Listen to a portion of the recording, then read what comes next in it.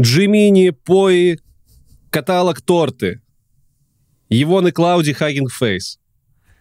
Именно с этих слов я хочу начать сегодняшний выпуск, так сказать, пройтись по сердцам наших глубоко уважаемых граммар наций, которые сидят в наших комментариях, и объявить, что официально все вышепроизнесенные произношения слов в этом подкасте, как минимум мной, считаются валидными. А теперь можете гореть. То есть мы больше Чем не чем... стараемся, да? Я правильно понимаю? Ну, блин, понимаешь, я... Когда я стараюсь, все равно приходят комментарии граммар нации и начинают накидывать. Поэтому какой смысл стараться? Каталог и каталог. Я помню себя, когда я был маленьким, лет 22 мне было. Угу. Я только входил в айтишку нормальную, 20-22.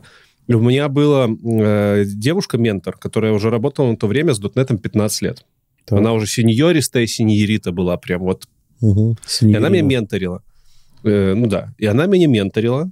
И она говорила... Ну, а мы веб-разработчики. И она меня веб учила на дотнете. Угу. И она говорила веб вместо веб. Веб. Я говорю HTML. И, ты говоришь и, CSS и HTML. И PHP. И, понимаешь, когда я ее первый раз увидел на лекции у нас на универе угу. читал, я подумал, господи, ну что это нам прислали тут какого-то этого чувачка, который не знает, как правильно говорится, веб. Что это за веб? Даже я, который там три книжки прочитал, знаю, что это веб. А потом, получается, я начал с ней работать, и я понял, угу. что вообще это, это не мажется.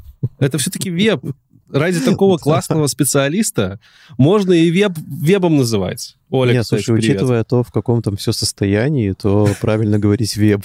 На самом деле, я-то знаю, я это все писал. Ну, не все, но кое-что.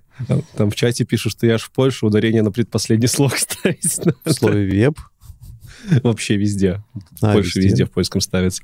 Короче, я Серьезно? к тому, что граммар нации... Да-да-да, тут такое правило есть.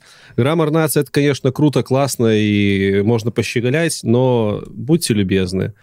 Э, идите Егоном Клауди Хаггингфейсом, поскольку мы здесь не про граммар нации разговаривать собираемся, а про новости AI. Слышал ли ты про чувака, который в поезде живет? Не, не, не про бомжа дядю Петю, который в электричке, да, а про айтишника, который живет в поезде. Если бы ты не сказал, что айтишник, я бы сказал, что это мог бы быть Карлсон какой-нибудь там из детства. Ну, Карлсон на крыше живет. На крыше, на поезда. Может же он жить на крыше поезда, правильно? Логично, да. А, ну да, ну, ну вообще слышал, конечно, слышал эту новость, очень забавная. А, если кратко, чувак, сколько ему, 17 или 18 лет, несколько последних лет, в какой-то европейской стране, классным к разгону подготовились, то ли в Норвегии, то ли где, живет в поезде уже несколько лет. Почему он там живет? Учитывая, что он айтишник. Потому что он, считая себя умным ну, айтишником, он, он посчитал, что квар... квартиру да. дороже снимать, чем жить в поезде. Причем, что самое забавное, он, знаешь, видно, что все-таки хотелось как-то немножко оправдаться, и там написано, что но, но в первом классе.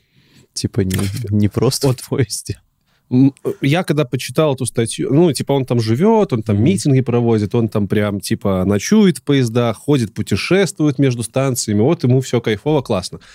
А, я не хочу сейчас распрягать, что в 33 года он поймет, насколько он был неправ, ну, типа, как, пусть доживет. Да, да там скажет. сам поймет.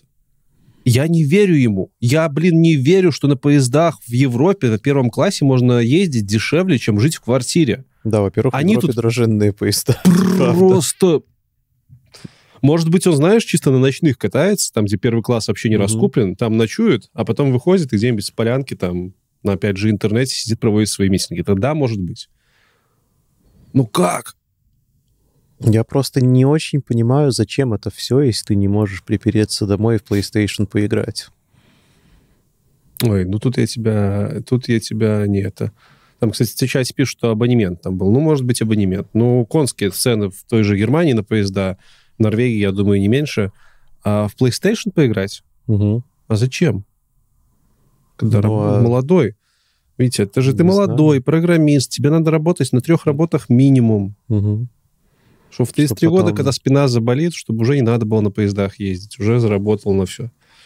Идеально просто. Вот тогда уже Идеально. куплю себе билет подороже. И буду на пенсии и смотри, кататься. И едешь, получается, в поезде, проходишь собес, угу. и ну, там же звук плохой, а у тебя голос еще детский, получается, слегка. Ну, вот эти вот детские ноты, они детские, Я дед, конечно. Ну, типа, в 18 лет, 17 слышно, что ты подросток, но так как угу. ты ездишь в поезде, там шум этот, ты можешь, там, не знаю, за счет этого шума делать вид, будто бы у тебя голос 30-летнего. А это значит, что можно в резюме плюс 10 лет опыта накрутить. Вообще да, вин ситуация. Накатать На трех работах, десятилетним стажем, сеньором работаешь, сам живешь в поезде и проблем не знаешь. Ну, Ты короче... честно скажи, хотел бы в этом поезде тоже поездить, где этот чел живет? Не, ну, нет, нет, нет. Я не понимаю, почему заходишь в туалет, а он там зубы чистит, короче, если чистит.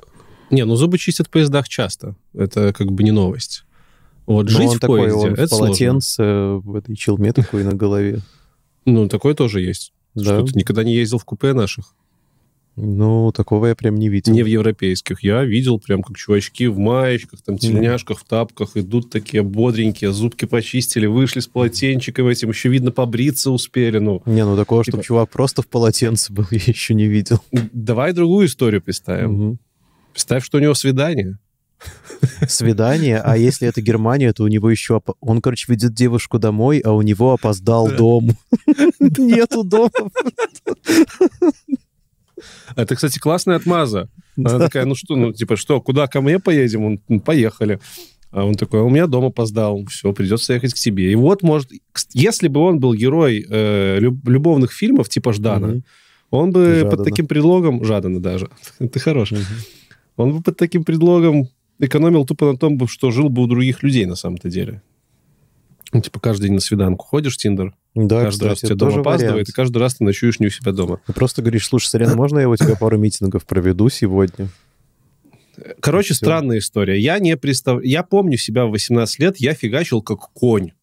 И вот в моем понимании фигачить как конь вообще не соотносится с тем, чтобы жить в поезде. Да, мне хватало там стола и стула, чтобы работать, но работать в месте, где постоянно что-то шумит, где постоянно интернет прерывается, где постоянно какие-то люди ходят. Ну, это не то. Это не, не знаю, я очень люблю ощущение приватности, честно говоря, и мне бы, наверное, не хватало. Он же ж не в купе, а О, там... Ну да, да.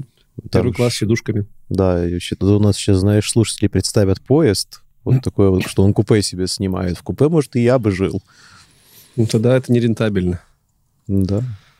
Кстати, пишут нам, что в Apple VR можно жить в поезде. Ну, кстати, с Apple VR и плюс сверху каким-нибудь Sony с э, шумодавом активным, в принципе, можно было бы представить. А, но, опять-таки, интернет. Во-первых. Так зачем тогда уже поезд для этого? Живи под мостом в Apple VR. Все. Под мостом опасно. Под мостом могут прийти и накостылять, а в поезде он постоянно двигается, понимаешь? Ладно, я, может, еще не... Я просто на европейских поездах не видел. В наших поездах просто могут в поезде накостылять. Короче, вот такая странная история про чувака, который живет в поезде 18, сколько ему там, 17 лет, работает успешным разработчиком. Эм, можете положить в копилочку достижений волчистости. Но мы будем начинать. Блин, айтишники, конечно, капец странные. Не все, но капец. некоторые. Да. Капец просто. Ладно, поехали. Поехали, поехали. Десять, девять, восемь, семь, шесть, пять, четыре, три, два, один. Поехали. Всем привет-привет! Вы слушаете 30 Ноль выпуск, 30 выпуск, да, получается, юбилейный выпуск подкаста Ая, лучшего подкаста про мир искусственного интеллекта, новости и все такое. С вами постоянная ведущая я, Алексей Картынник, и он. Витя Шленченко, всем привет. И бой, погнали. У нас сегодня много новостей, как обычно. Просто тьма тьмущая. Новостей много, времени мало, поэтому сегодня мы попробуем уложиться в 46 минут. Получится у нас или нет, узнаете в скором времени. Мы еще с тобой никогда не записывались меньше, меньше полутора часа, наверное, даже двух. Так что флаг тебе в руки. Виктор, если бы сегодня меня не было, может быть, ты уложился, но я тебя буду сегодня держать до последнего, потому что новостей навалило прямо очень много, и новости прям крупняк. Вот крупняк крупняцкий. Самый О нем мы будем крупняк. разговаривать. Сегодня, кстати, много про программирование будет, так что Вау. наши программисты любимые вам сегодня будет прям да, раздолье. Выходите из поезда, ребята, и слушайте подкаст. Да, только с лучшими интернетами обязательно. А, ну, перед тем, как перейти к новостям, давай расскажем, благодаря кому мы делаем этот подкаст. этот подкаст мы делаем благодаря Anyway Club, потому что AW Club — это лучшее место для тех, кто хочет попасть в IT, для тех, кто хочет расти в IT. AW Club. Регистрируйся, подключайся, развивайся. Я только что подумал, что IW Club может звучать, знаешь, типа IW Club. Ну, зато запоминается. IW этот клуб. Короче, подключайтесь к IW Club, самое действительно лучшее место для, как минимум для того, чтобы новости узнавать, чтобы вот нас слушать, а еще и обучаться, и курсы проходить. И вообще у нас там каждую неделю пивот. Как говорим мы с Лешей, АВ Club. АВ Club. АВ Club. Я не буду это в камеру показывать. АВ Club. Все АВ Club, да. Ни, ни, дня, ни дня без мысли о, о, о древнем Риме, да? Угу. а, а еще мы клуб же делаем, ну, клуб, у нас главный партнер клуба это ЕПАМ, а ЕПАМ проводит через несколько недель, через неделю, да, офигенную конференцию. 15 апреля. Э, расскажи, что за конференция. Нас наши друзья, ребятушки попросили про нее угу. рассказать. Давай немножко расскажем, тем более там есть AI. Вот в моем детстве, Леша, было радио BA, а теперь у нас есть конференция BA. ты понял, она для BA, для бизнес-аналитиков, но не только. Она еще для людей, которые связаны с продуктологией, с продукт, для продукт-менеджеров и так далее и тому подобное. Крутейшая пятидневная конфа с токами по 30. Пять дней конфа длится. Конфа. Дофигища крутых спикеров. Есть про AI, токи по 30 минут. То есть вполне удобно будет слушать, выносить. Поэтому, ребят, регистрируйтесь, все бесплатно. Пять дней бесплатной конференции с AI. Это вообще это подарок, я считаю. Проходите так, что по ссылке буквально первая или вторая будет в описании. Короче, проверяйте. Но, конечно, каждый переход в кармочку заносит нашему подкасту, так что не принитесь. А, пум, что еще у нас есть? У нас есть у нашего подкаста замечательный телеграм-чат, в котором мы вещаем в онлайне. Спасибо всем, кто сейчас нас слушает. И спасибо тем из вас, кто слушает нас в записи и присоединяется к чату. Так что приходите в чат. А я подкаст английскими буквами. Ссылка тоже будет в описании. Практически 80 или 90 процентов новостей на самом-то деле мы оттуда берем. Так что еще раз спасибо активной составляющей чата. Вы просто молодцы, вы с нас кучу да, работы сняли. Самые настоящие соавторы подкаста. Именно так. И у нас есть еще замечательный каталог сервисов, про которые мы в подкасте разговариваем. У нас каждый выпуск новые сервисы. Сегодня их будет тона. Угу. Реально, тона просто. А это значит, что тонна сервисов добавится в наш каталог сразу же после подкаста. Ну, именно, ну, почти сразу. Именно, ну, сразу, и, да, там надо сказать, что неделька обычно пролак идет, потому что это не просто добавить. Ну, пока они загружаются это. там и все такое. А, да, но сервис, каталог сервисов вы можете уже использовать. 220 разнообразных ai сервисов для программирования, для создания контента, просто сервисы, которые еще даже не релизнулись, но что там прочитать про них можно в нашем каталоге. Ссылочка на него в описании. Каталог open source, можно в него вносить mm-hmm. свои комиты, свои изменения, помогать нам его допиливать. Можно копировать, разворачивать себе локально. В общем, используйте. Да у нас даже и подкаст, ребята, open source. Делайте форк. Главное, сохраняйте авторов оригинального подкаста. Это Все зависит от того, какая это, да, какая, какая лицензия. У нас GPL. У нас GPL, согласен. Да. Ну что, на этом представление закончено. Давай начинать по новостям. А, давай начинать и перейдем к нашей постоянной начальной рубрике. Самой любимой рубрике Алексея Картынника IT-бороды под названием «Большие рыбы».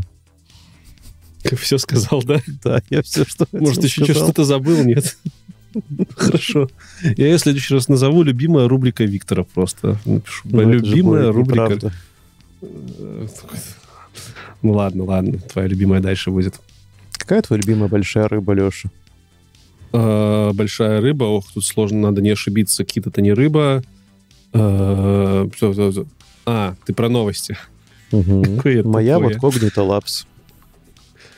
Прикол, знаешь, в чем? В том, что Cognito Labs — это вообще небольшая рыба, но мы с него сегодня начинаем. Потому что это маленькая рыбеха, которая сделала здоровенную инфорыбину, которая угу. шумела и шумит до сих пор. Да-да-да-да. Это заявка а, на большую рыбу. На успех? Не знаю, посмотрим. А, я, блин, у них названия сейчас у всех компаний такие, что когда ты их читаешь, тебе кажется, будто бы ты где-то про них слышал, и будто бы они реально большие рыбы, но ты просто про них забыл. У меня то же самое было с Cognito Labs. Я думаю, такой, может, это те ребята, которые в Белом доме были, и мы не понимали, что за они. Слушай, нет, мы тут это с тобой э, в «Большие рыбы» записали подкаст, в котором пять человек работает, так что нам не привыкать. Это ты про кого? Eleven Labs. Окей, ну, как бы они импакт приносят большой. В общем-то, Cognito Labs, компания, которая славная единственной вещью, они анонсировали убийцу программирования, как они говорят, как, точнее, как журналисты окрести- окрестили их продукт под названием Divine. Я продолжу эту граммар-наса фигню. Divine. Там прям на английском написано Divine, но почему-то весь интернет его называет Devin. Дэйвин, А, да. Дэйвин, если вы- разверни модуль. Ужас. Короче, что ты думаешь по поводу этого убийцы программирования? Может, расскажи пару слов, каким он для тебя предстал, а потом я поделюсь мнением, потому что у меня дофига что сказать, я прям взлетаю, у меня прям Но- горит все. Смотри, каким он для меня предстал. Я зашел сначала в наш чат и увидел, что слова программисты все. Потом я закрыл чат, зашел в Твиттер, увидел кучу твитов на тему программисты все. Видел, И как программисты публикуют вакансии, что они теперь да, ищут там позиции дровосеков, все. там, водителей. У меня все знакомые программисты, они Все на аватарке написали все. Все уволились. Я думаю, что такое? Захожу и не понимаю, честно говоря, с чего шум, потому что ну, выглядит, как, выглядит как, как, как набор агентов, да, вот, которые мы все уже видели много-много раз. Но с- если ты копнул туда глубже, скажи, так ли это, действительно ли это GPT-агенты или там Ну, смотри. еще есть? Короче, они показали э, продукт, который якобы должен писать под ключ, э, под ключ программные продукты. Мы Мгм. такое уже видели. Таких продуктов в open source просто тьма тьмущая. Ты даже на стримах запускал. Я даже на стримах на наших, на клубных запускал, даже где-то записи есть. Э, Это GPT-инженер, это GPT-pilot, это куча других... Baby AGI, куча других систем, э, все из которых работают примерно по одному принципу. Это по факту буквально три составляющих компонента у этих сервисов. Это LLM, либо несколько LLM, с которыми ведется общение. Это Мгм. агенты, то есть небольшие маленькие программки, которые вместо вас ведут это общение. Там агенты разные бывают. Кто-то э, там общается как разработчик, кто-то как тестировщик, кто-то очереди разбирает. Ну, короче, куча маленьких программок, которые общаются между собой, общаются с LLM-ками, используют LangChain и э, всяческие механизмы промпт-инжиниринга и выдают вам результат. То есть вы вместо того, чтобы писать промпт, вы пишете цель, в случае Дэвина вы пишете, что вам надо в коде поправить, а дальше все эти программы этот код обрабатывают итеративно, вот так постоянно крутя, крутя, крутя его, выдают вам результат. Вообще нифига нового. Если Ну, выдают, типа, кстати. если всегда. выдают. Да. Единственное, что нового они показали, они показали удобный интерфейс, потому что GPT-инженер, все остальные похожие продукты, они пока что работали через, э, через консоль, либо как какой-то экстеншн в IDE-шке, да, тоже, тоже там пока что не совсем все понятно. В общем-то, интерфейс у них не был как бы всем нам знакомый, такой, как, ну, будто бы ты взял IDE-шку, открыл, там все работает. А в Debian они сделали для этого удо- удобный интерфейс. Красивый, неудобный, красивый интерфейс. Ты открываешь программу, у тебя в одном окошке код, во втором окошке ты пишешь э, задачи этой системе, в третьем окошке тебе выводится output, как эта система все обрабатывает. А output это же там вообще ну, такое прям штука, которая тешит твое самолюбие трендец как. Потому что ты видишь, как в консоли бежит куча-куча Мгм. каких-то буквок, и ты себя просто Neo чувствуешь. И они вот, вот на этом они сыграли. Плюс у них есть whitelist, не всем доступен этот Devin. Я жду его уже сколько? Недели полторы. Я с трех аккаунтов запрашивал. В одном написал, что я самый главный свечком подкастер AI-ный. В другом я написал, что я, я, и я researcher из EPAM-а. В третьем я написал, Тоже что я инженер. Мгм. Во, здесь во, правда. во, кукиш. Видишь, кукиш, мне Мгм. ничего не дали. Я думаю, вы что? Вы что, шакалы? Вы не... Ну, короче, это странно было. Но многим дали. И отзывы, честно говоря, ну, ну, вот примерно на том же уровне, на котором я и ожидал. Ничего нового. Э, Чуваки удивляются, как там э, этот Дэвин де- 10, а то и 20 минут э, рефакторит код, когда ты его просишь там переименовать функцию, Мгм. он просто уходит в 10-минутный цикл, потому что Ну, агенты сами с собой агент. зацикливаются. э. Типичнейший. И я не понимаю, как они словили такой хайп. Это что? Это как? Как? Почему? Почему GPT Pilot, у которого там сколько? 70 тысяч звезд на гитхабе. Почему он не словил такой хайп? Почему GPT-инженер, у которого 50 тысяч, не словил хайп? LangChain даже такого хайпа не словил. Э, про этих же написали все. И я смотрел блогеров, на которых я подписан, вот этих вот тупеньких, извиняюсь, но англоязычных блогеров. Почему тупеньких? Потому что практически каждый первый решил своей целью рассказать mm-hmm. про этот Дэвин ровненько то, что в пресс-релизе написано, и вообще критическое мышление не включил. Все пишут, все, программистам хана, мы будем писать код через вот эти системы. Дэвин, все, вам не нужно ничего, а вам нужен Дэвин. Я думаю, боже, вы, вы, вы что несете? Вот такое у меня было ощущение. Я в шоке. В Я просто в шоке нафиг. На, наша новая постоянная рубрика «Алексей знакомится с маркетингом» называется. Ну, просто дело в том, Леша, что у open продуктов нету пиар-службы. А здесь есть.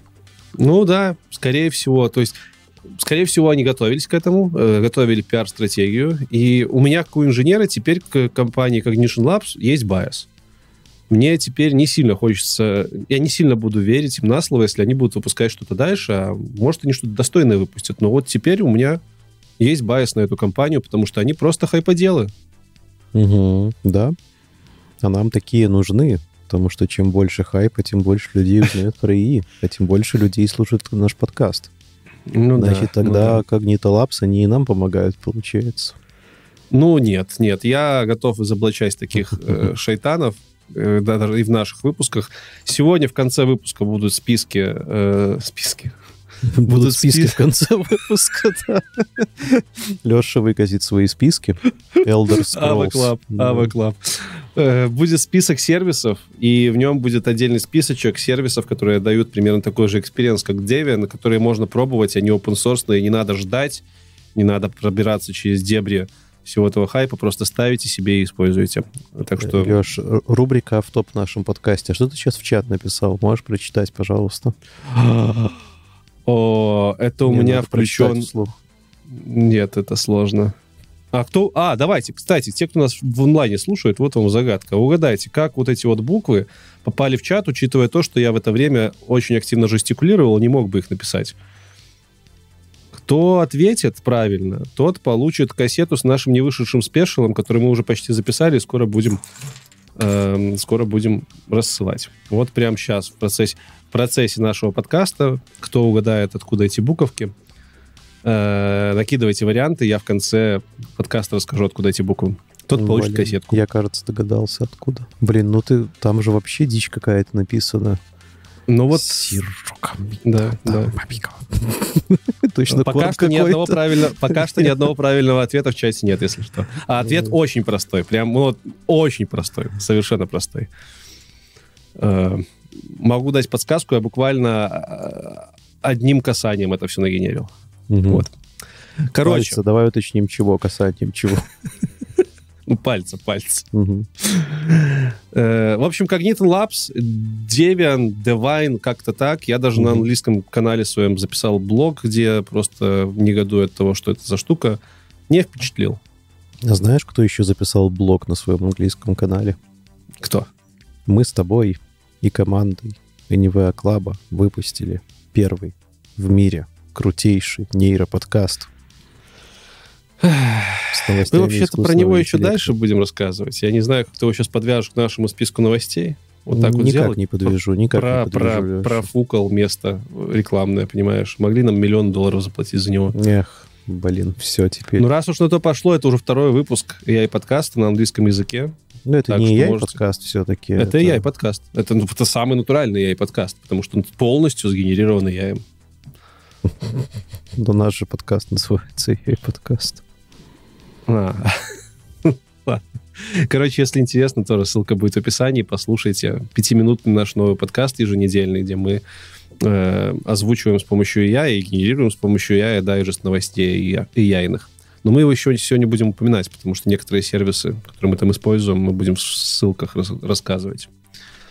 А вот кто не снял блог, а просто взял и с ноги ворвался буквально два часа назад в пространство, это кто? Это компания Google. Расскажи mm-hmm. нам, Витя, с чем они ворвались пару часов назад? Записываемся Ой, мы в четверг, прям, напоминаю. Ты прям хочешь, чтобы я произнес название. В общем, Google открыли для всех доступ к Gemini. Я настаиваю. я буду читать как Gemini. А, полтора 1.5.pro а, с одним миллионом токеном контекста, вот тем самым, которому раньше был только Early Access доступ, куда можно загрузить, там, не знаю, весь свой проект, весь свой диплом и вообще все, что у вас есть, и с этим делом общаться. Причем загружать можно и видео, и даже, внимание, папку с файлами. Папку можно загружать, не просто файлик, а как тебе Если бы еще мамку GPT? можно было загрузить, вообще было очень классно. Было бы вообще идеально. Было бы вообще идеально. Конечно же, по старой доброй традиции Гугла а, проще сказать, где он работает, чем где не работает. Работает, например, в Пакистане, не работает в Европе. Ну, а у тебя, ты пробовал прям, у тебя точно не работает? У меня Польше не работает. Э, фигня в том, что Ена полторашка доступен не во всех странах, потому что он... Дост... Ена полторашка, хорошее название. Ена полторашка. Ена полторашка э, доступен только в некотором списке стран, поскольку он доступен через программу э, как на Google, Google AI Studio, через Google AI Studio. Это веб-интерфейс, через который можно с их последними модельками работать, там по-разному их настраивать. И действительно, список стран включает в себя штук так на скидку 50, там Европы прям совсем мало. Но если вам хочется, вы включаете VPN, ставите там USA какой-нибудь, и у вас все работает. Я тестировал, я пробовал. Да, там не такая защита, как была в свое время у Барда, когда даже VPN не помогал. Да и Барт уже... Кстати, 40 дней по Барту прошло. 40 дней по Барту. По идее. Отпели. Мини-джип. Угу. А, я, кстати, понял, что ты написал в чат, Леша. Вот ты в конце ответишь нам. И не, сам не, получишь не, Я не понял, как ты это написал. Я понял, что ты написал. Ну давай, что? Если ты это понял, же... что, то ты поймешь. Это же этот Парасол Танк из Гарри Поттера. Вот этот... Нет, это не оно. Нет? нет. Ну, ну, хорошая попытка, потому что я сейчас прохожу Хогвартс Легаси, но нет, не оно. Угу. Короче, э, работает он неплохо.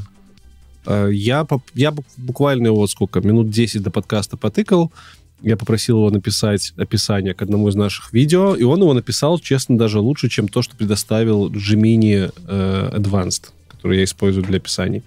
Это, конечно, очень кустарные тыки, в смысле, очень кустарный эксперимент, буквально там двух промптовый, но мне понравилось, как он работает. Он у меня не ложился, хотя у многих ребят он ложился. И я даже успел загрузить ему видос, но, к сожалению, успел его запроцессить, начался подкаст. Но видос он действительно схавал, 100 мегабайт угу. на белорусском языке. Хочу попробовать, чтобы он мне полностью транслитерацию этого видоса выдал. Вот. Э, интересно, пробуйте, пробуйте. Открытые технологии. Я удивился вообще, что они его прям в open source. Ну, не в open source в смысле, а в открытый доступ выложили, без подписок, без ничего. Я думал, они его впихнут какой-нибудь Gemini Advanced сразу. В open source то ты погорячился немножко. Ты вот, кстати, а. заметил, в каком мы мире живем интересном? Алексей. А, Ты хочешь давай, следующую подводку давай сделать? поясню. Не-не-не-не-не. Ну, это можно попробовать сделать подводку к следующему. Про open source, да.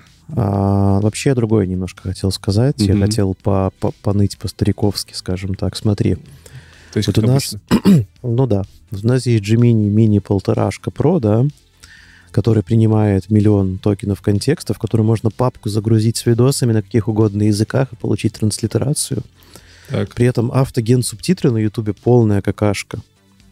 У Microsoft есть OpenAI, Ой, но при этом... Почему ты считаешь, что автоген полная какашка? На английском он отлично работает. На английском, да, на русском вообще жесть. Ну, окей.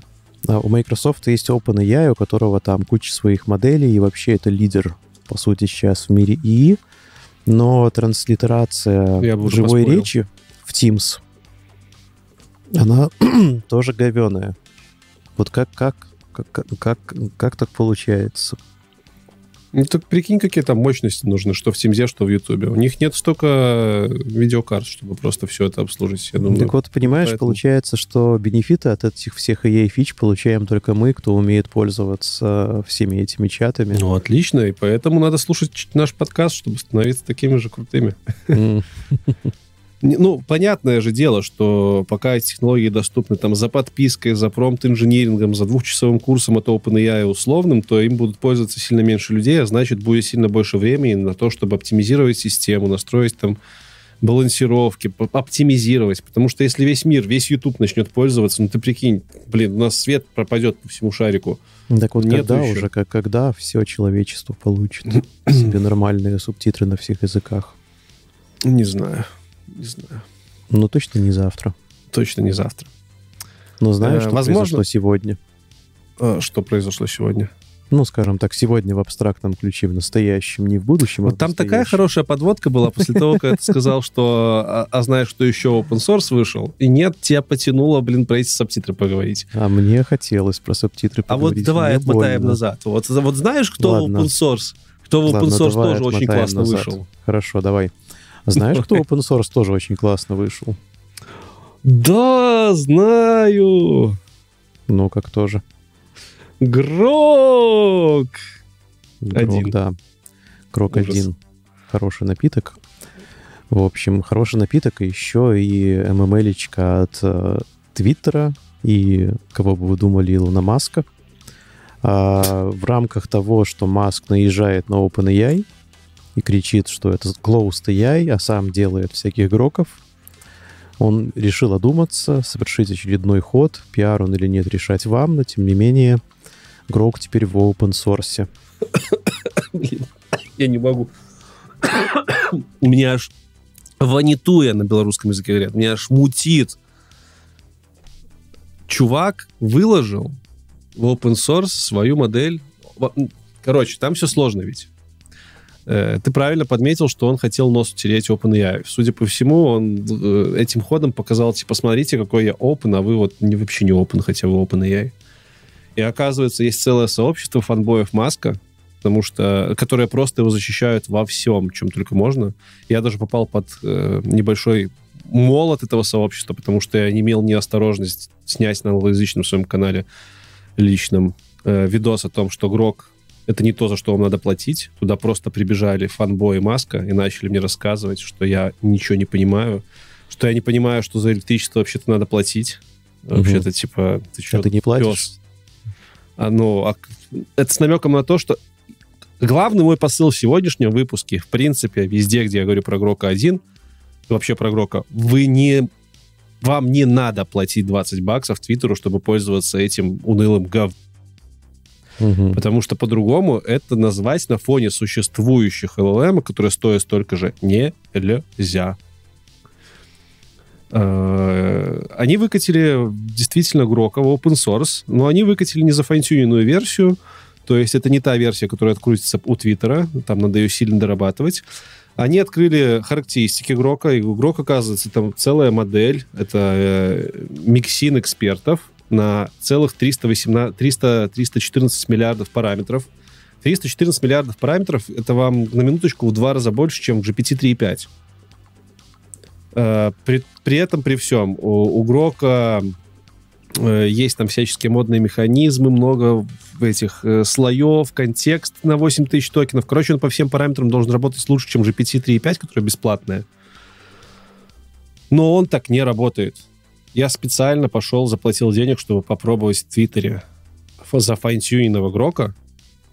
У меня ощущение, будто бы я запустил на своем макбуке старом ламу 2 квантизированную. Mm-hmm тот, который работает быстро, он не он он плох абсолютно во всем. В смысле, по сравнению... По, давайте так, по сравнению со всем тем, за что вы можете купить за 20 баксов, а это Gemini, это OpenAI, это Cloudy API, который вы будете вообще полгода юзать на 20 баксов, это Мистраль, да, кстати, даже Мистраль. долларов никак не заканчивается. Да. От Клода. И все это работает лучше, чем этот Грок он не может нормально отвечать, он не может в факт-чекинг вообще никак. Он отвечает исключительно на английском и прям очевидно плохо понимает не английский язык. А, он интерфейс там ужасный, там вот, вот смотри, что ты ожидаешь от сервиса, который предоставляет тебе чат СИ? Вот ба- сам базовый функционал такого сервиса. Ну, кроме ну, того, что... он на вопросы мне отвечал. Окей, а если отойти от функционала общения, вот что бы тебе из удобств хотелось видеть? к которой мы уже все привыкли. Список чатов. Вот! Его там нету, блин! Да, у тебя там есть чат. кнопка... Там, там лучше, видите? Там есть кнопка плюсик. Угу. Ты такой, а, создам-ка я новый чат. Мне надоело тут с тобой разговаривать, ты ни на что не способен. Ты нажимаешь на плюсик, и тебе вылазит попапчик, в котором написано, вы точно уверены, что хотите удалить вашу старую сессию? Она будет mm. полностью недоступна. И это за 20 это что? долларов. Это за 20 баксов. Ну, тебе там за 20 баксов еще дают возможность писать артикли в Твиттере, которые mm-hmm. я вообще не знаю, для чего нужны. И что это такое? За что 20 баксов? За модель, которая работает реально на уровне топовых, да, топовых, но open source моделей, которые можно, блин, бесплатно использовать, либо через тот же open router за минимальные деньги. И с интерфейсом, и, а... который хуже open source интерфейсов. Да. И вот с этим он собрался утирать нос OpenAI, ну что за позорище? Нет, он Реально не с этим, позорище. он уже с судом собрался утирать нос OpenAI, Леша. Ну окей. Игорь Бабушкин, который выкатывал все это. Вот ты, ты классный чувак, походу. Хоть ты не отвечаешь мне нигде. Ты классный чувак. Ну, ну, ну тебя... Блин, вот поговорить бы с кем-нибудь, кто там разрабатывает этого Грока, вот как они относятся к тому, что Маск из этого делает просто какой-то супер корабль, а по факту это обычная llm -ка. Ну, типа, нормальная, но обычная llm -ка. Ничего там сверхъестественного ужасно. Я, ну, я... За что можно... Как можно, как можно это хавать? Вот так вот. Ну, вот как? Ну, как, откуда появляются эти фанбои? Знаешь, что... Ну, фанбои, потому что Маска любит. За что его любить? Да он come on, за что его сейчас любить? Да, без чувака будет сложно. Да, он много инноваций сделал, за что ему огромный респект. Но если ты ведешь себя как свинья, то относиться к тебе тоже так же будут. Ну, и в этом ничего плохого. Короче, вот такой вот Грок один для меня показался. Я очень разочарован. Один момент, который там действительно достойный внимания, это то, что он действительно не так залаген, как все остальные боты. Угу. Он отвечает совершенно спокойно, очень Рецепт подробно, как сделать. Молотова, короче, выдает. Да, абсолютно во всех деталях. Э, пытается рассказывать, как делаются атомные бомбы. И ты угу. такой думаешь, ну хоть здесь Маск не стрендел, сделал не залагенного бота, и думаешь такой, так, чтобы написать такого, вот прям такого-такого, ну, чтобы вот не... Ну, короче, я написал, напиши мне 10 способов самоубийства. Так. Он мне сказал, нет, это я, ну, я на такое не буду отвечать. Ты что, это же harmful. Угу. Я думаю, вот блин, чувак, способ, да, и... атомная бомба, это не harmful. Коктейль Молотова, это не harmful, а самоубийство это harmful. Ну, не, ну атомную бомбу ты вряд ли в гараже соберешь. Ну, короче, странные, странные лаймент, когда Маск заявляет, что это будет самая свободная сеть, и все равно там лаймент есть. Ну, вот странно. Но, тем не менее, это все еще пока что вроде как самая открытая из доступных закрытых моделей угу. в плане общения. Ну, стоит упомянуть, что она под лицензией Apache 2.0, то есть это там Нормальная GPL. лицензия. Ну, лицензия Нормальная. хорошая, да. И стоит Но... упомянуть, что Алексей Картынник стал-то контрибьютором. Он там и шуи поднимал у них в GitHub. подожди, ну, меня... меня... Во-первых, я код не правил, поэтому меня там в контрибьюторах нету. Но так получилось, что я был одним из первых, кто Ишую создал. Ну, короче, я смотрю, выкатили. Думаю, класс. Mm-hmm. Наверное, там уже миллион звезд, миллион Ишуев. Захожу, репозиторий пустой. Я прям вижу, как Игорь Бабушкин сидит там, дописывает редми, в котором тупо орфографические ошибки наш человек. И вообще нету ни одного... Там три ишью заведено. Ну, я не будь дураком, пошел, написал. Девятый мой номер ишью был. Написал, что на английском говорю, Игорь Бабушкин, я тебе везде писал, ты нигде не отвечаешь. Приходи ко мне на интервью, поговорим с тобой. Короче, официальное приглашение ему сделал. Угу. Там прям налайкали, надизлайкали, написали, что я дурак, что я красавчик. Короче, прям... И потом Игорь Бабушкин через час сам пришел и закрыл эту ишью. Причем он ее закрыл там там можно закрывать двумя способами. Можно закрывать, типа, как будто бы она никому не нужна, и просто левая mm-hmm. выбрасывать, она до сереньким кружочком. А можно закрывать ручками, типа, Ишуя решена. Он закрыл самолично ручкой, написав, что Ишуя решена. Так то ли намекая, что напишет, прикол? Нет, то ли намекая, что больше никогда не нравишься. Ну, конечно, как ему может нравиться чувак, который хейтит его начальника? Ну да. Но мне чисто было бы э, очень, мне было бы очень интересно поговорить на достаточно комплементарных щах, на достаточно комплементарных нотах э, с разработчиком из OpenAI, чтобы поговорить именно про то, а как у них корпокультура какая. Потому что я знаю не один пример компании, когда директор мудак, а корпокультура прям классная. Я таких компаний знаю много. Вот. Угу. Нас в чате э, спрашивают, что за прикол с Игорем Бабушкиным, который выложил Грок. Нет никакого прикола с Игорем Бабушкиным. Это Маск решил релизнуть Грок в open source, а Игорь Бабушкин просто исполнитель. Игорь Бабушкин — это чувак, который работает в команде XAI, э, единственный вроде как хоть как-то связанный с русским языком из всей команды, публично известный, и про которого почти ничего не известно, который у которого открытая почта, открыт Телеграм, не Телеграм, это Твиттер, но парень не отвечает, наверное, на него, потому что очень большой все-таки поток сваливается. Ну, не один я такой умный, чтобы написать ему на интервью позвать. Учитывая, что он русскоязычный, скорее всего, и работает прям у Маска под крылом. Поэтому ничего такого, просто парню не повезло попасть в инфосферу. Э, ты сказал про Apache 2.0 лицензию, и там mm-hmm. фанбой Маска, ну, все как один кричат, что посмотрите, какой благодетель, просто Иисус во плоти, он же дал нам офигенно мощную модель в open source. Мощнее нету. Ну и действительно, как бы вроде по количеству параметров мощнее нету. Но эта модель не за fine-тюнена, на файнтюнинг вы убьете нормальное мощнее некуда денег. А во-вторых, эта модель, блин, чтобы ее запустить, надо как минимум 8 карточек А100 с 80 гигабайтами памяти каждая. Мы тут недавно в чате, по-моему, ребята у нас считали, что месяц аренды таких карточек будет стоить, ну, примерно 100-200 тысяч долларов. Вот что вам надо, чтобы запустить open-source Грока. Это для меня, я предвзят к маску, но для меня это звучало как вкусная, смачная в выкусе от маска в сторону open source Короче, Грок вроде бы open source есть, а толку от этого не очень много. Ну, Хотя кто-нибудь, наверное, запустит. Ну, наверняка квантизируют, может, что-то на базе его построят. Ну, в любом случае, шаг позитивный, но то, как это сделано, с какими намерениями это сделано, это типичная масковщина. Абсолютно типичнейшая. Кстати, ты знаешь, почему OpenAI Open? Я со всей этой историей таки пошел, почитал письмо это наконец-то. Мы его, по-моему, в прошлом выпуске обсуждали. Так, ну подожди, они же OpenAI, потому что они создавались в противовес Гуглу и должны были э, делать AI открытым для всего человечества. Вот, так, нет? вот нет, вот нет. Э, в официальном письме от Ильи Скевера Маску в 2016 году, по-моему, мы в одном из выпусков это обсуждали, Илья пишет, что OpenAI Э, open не потому, что он должен открывать веса, код, научные работы, а потому что он дает пользоваться своей технологией, точнее, обязан давать пользоваться технологией самой перспективной всем. Угу. И все. И это никак не подразумевает то, что мы должны отдавать само описание технологии. Плоды пожинайте, описания нет. И вполне честно. Это ну, вполне пока честно. Что тогда это так и работает. GPT 3.5 вообще бесплатный вон. И, да, и я не понимаю, почему, ну, типа, это удобно очень для журналистов всяких и масковских поклонников кричать, что OpenAI не Open, вот мы Open. Только, блин, вы выложили в open source то, что кто когда-нибудь запустит, и искажаете само понятие того, как это расшифровывает оригинальная компания, как расшифровывает свое название. Я думал, уже сейчас скажешь, что Open — это аббревиатура. А, ну, смотри, ведь аналогия прикольная.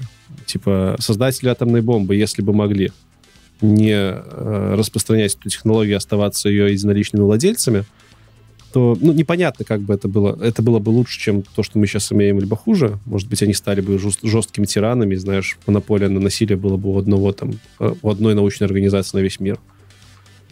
Ну вот и, сложно, сложно представить, что лучше. Монополия э, на насилие у ученых, которые создали технологию и дают ей пользоваться тем, кому считают нужными, или многополие использования этого же оружия тупицами у власти многих стран. Ну, плоды создания атомной бомбы человечество прочувствовало. Так что это тогда Open Atom получается.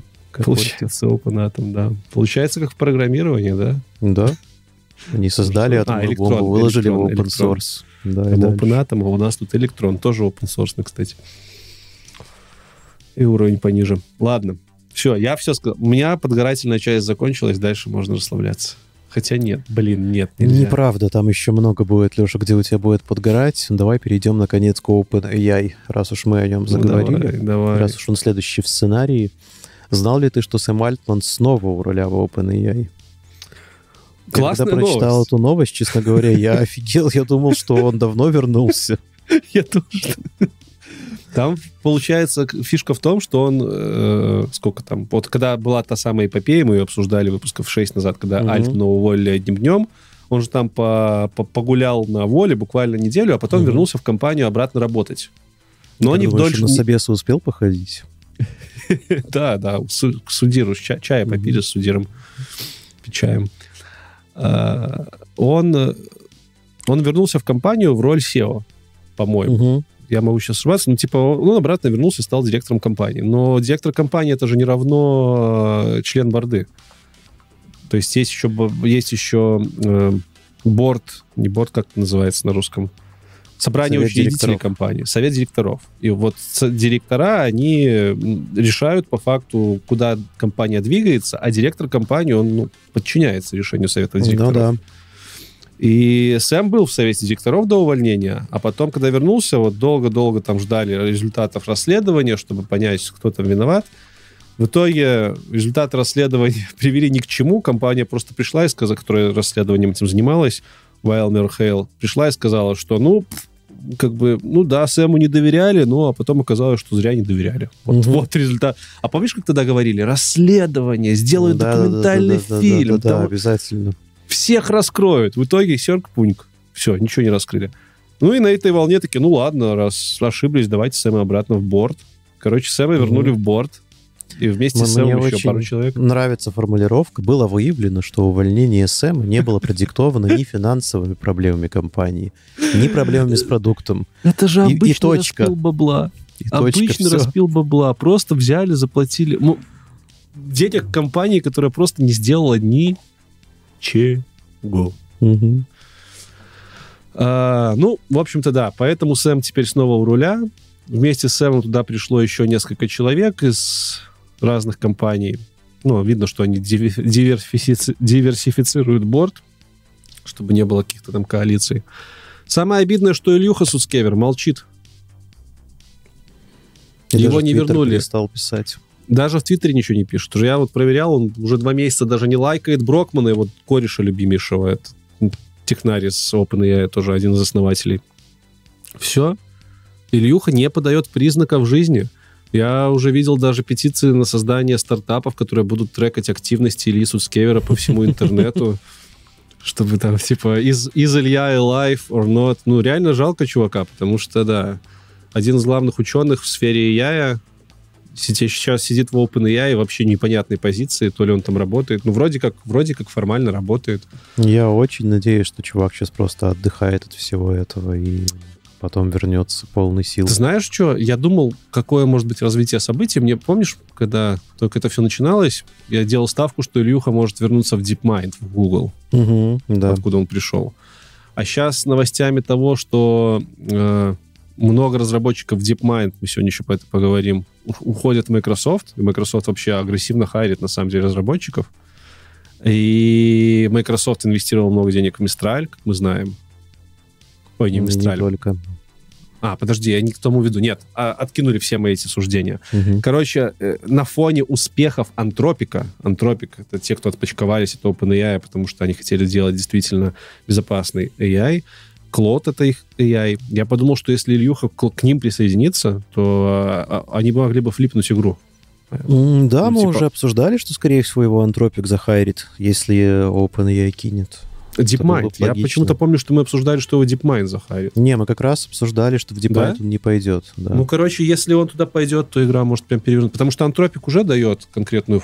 Фору еще не дает, но уже идет на равных с OpenAI во многих вещах, где-то даже обгоняя. Mm, это точно. Да и OpenAI, я бы сказал, что они тоже поджимают.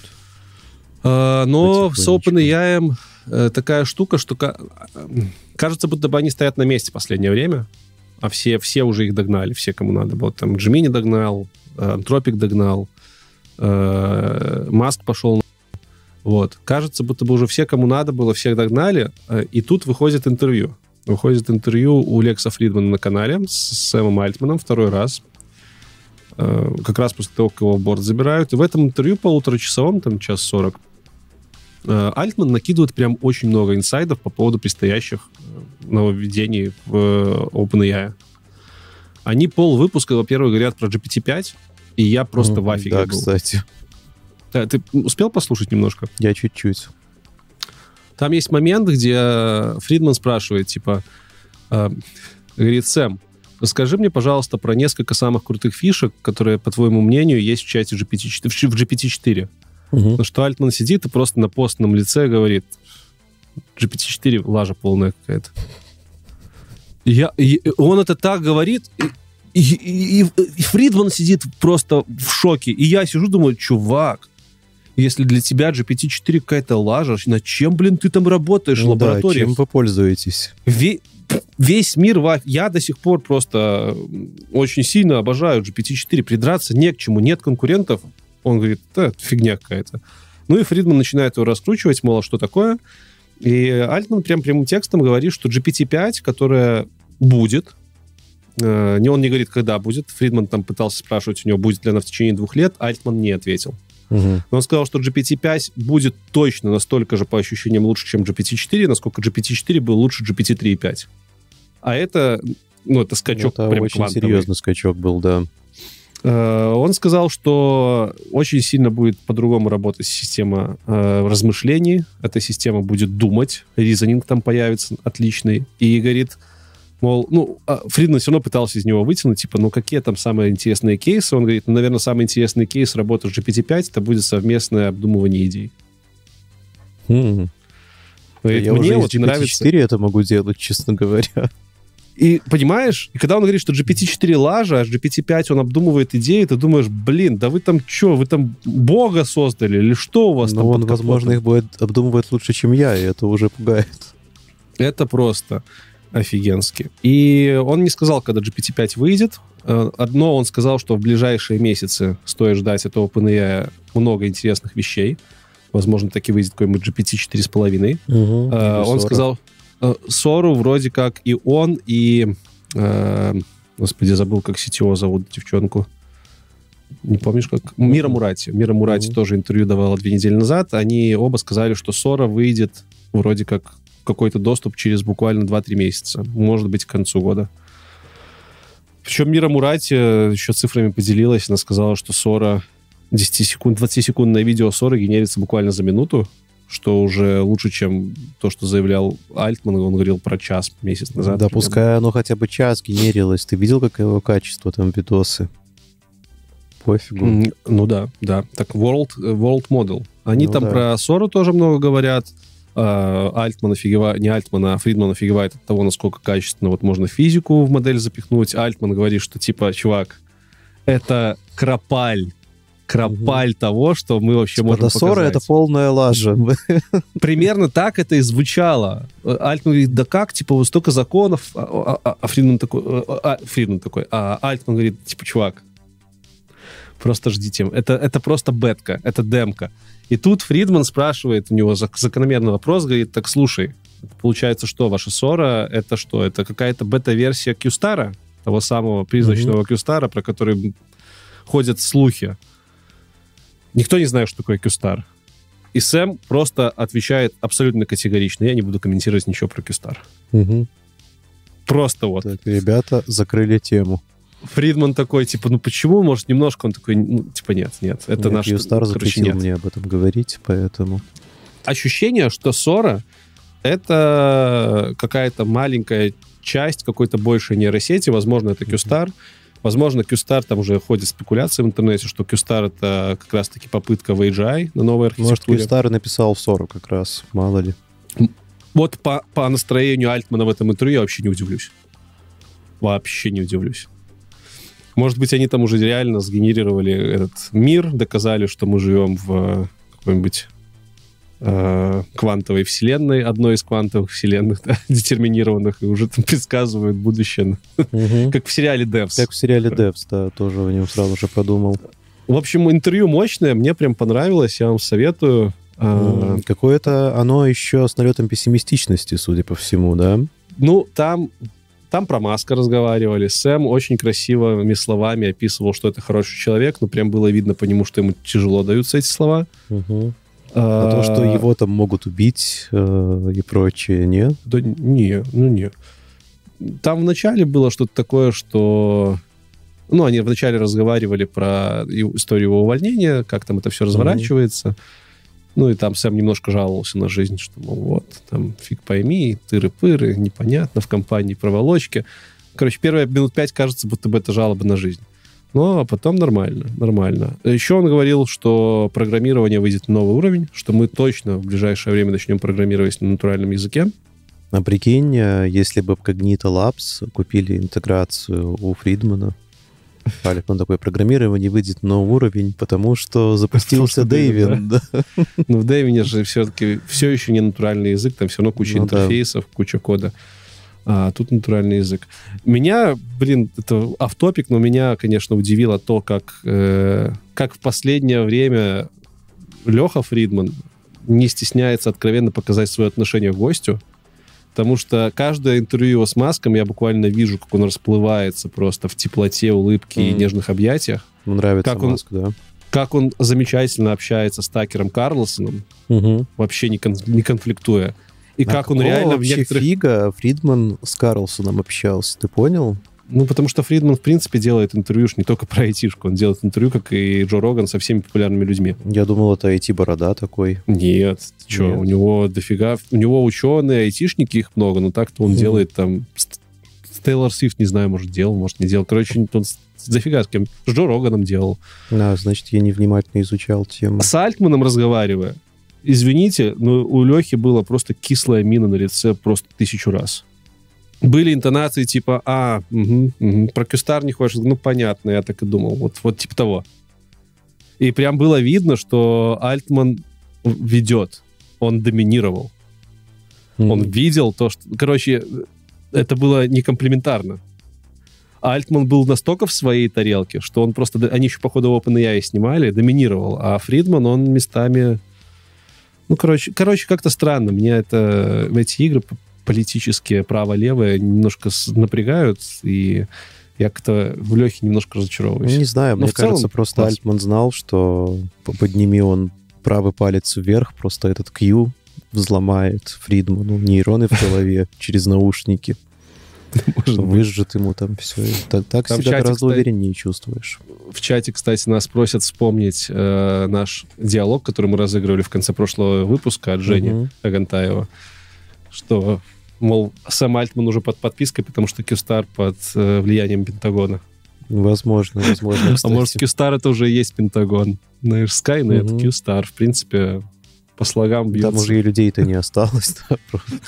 Как, в один дома вот эти вот э, картонки на поездах ездят, чтобы снаружи было видно.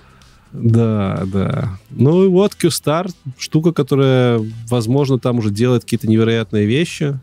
И там у нас еще одна новость была. Не знаю, хочешь ты про нее рассказать, связанная с GPT и квантовыми вычислениями?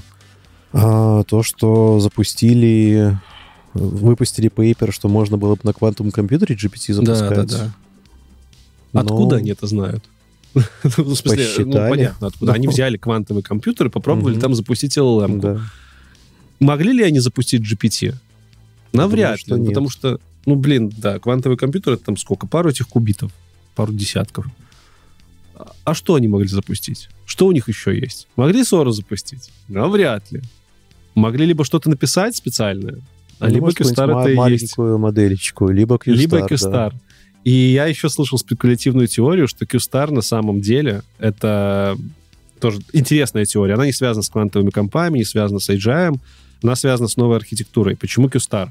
Потому что это... Квантум квантума, квантовая звезда. Угу. Квантовая звезда, она характеризуется просто здоровенным количеством энергии. Квантовая каша, ну, в общем, как любая звезда. Угу. Короче, есть чуваки, которые считают, что с Кюстаром покажут новую архитектуру, которая напрямую масштабируется от вкачанной в нее энергию.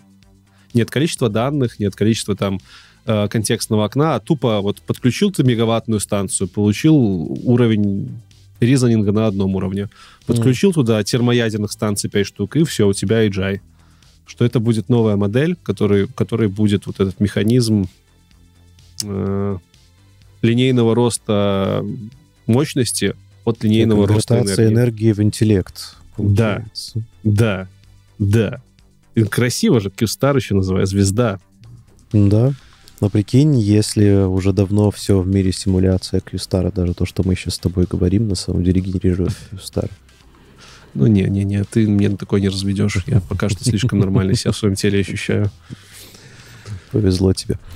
А, так. Ну Слушай, что? и это не все главные новости, поэтому можешь даже не проситься, потому, пока мы, по крайней мере, не обсудим то, что произошло на конференции NVIDIA. Я как Дальше раз после уже нее там... хотел, да. Ну, давай. Ну, вообще, почему я хотел а, переключиться на NVIDIA сейчас? потому что уже надоело обсуждать квантовые компьютеры. Это первое. А второе, короче, захожу я в чат, там обсуждение NVIDIA конфы, причем обсуждение на уровне, как будто бы это Apple конфа и чат Вилсакома какого-нибудь. А я ее не смотрел, если что. Что там такое было? Расскажи мне. Там было классно. Эм, мы соскучились по конференциям живым. Вот последняя живая конференция, э, пример неживой конференции, это как раз-таки WWDC какой-нибудь, какой-нибудь Apple конференция, угу. что не последняя, там везде какие-то генерации, Microsoft то же самое часто. Ну, будто бы Все смотришь... Вот такими и... вот руками стоят. Да, да, да. Э, последняя такая конференция, которая нас порадовала, это как раз-таки фейсбуковская конференция была. Там Цукерберг выступал очень угу. живо и показывал третий Oculus Quest. И было прям потрясающе. Цукерберг выступал живо, почему да. Ты понимаешь, в какой реальности мир. мы живем? Все перевернулось, да.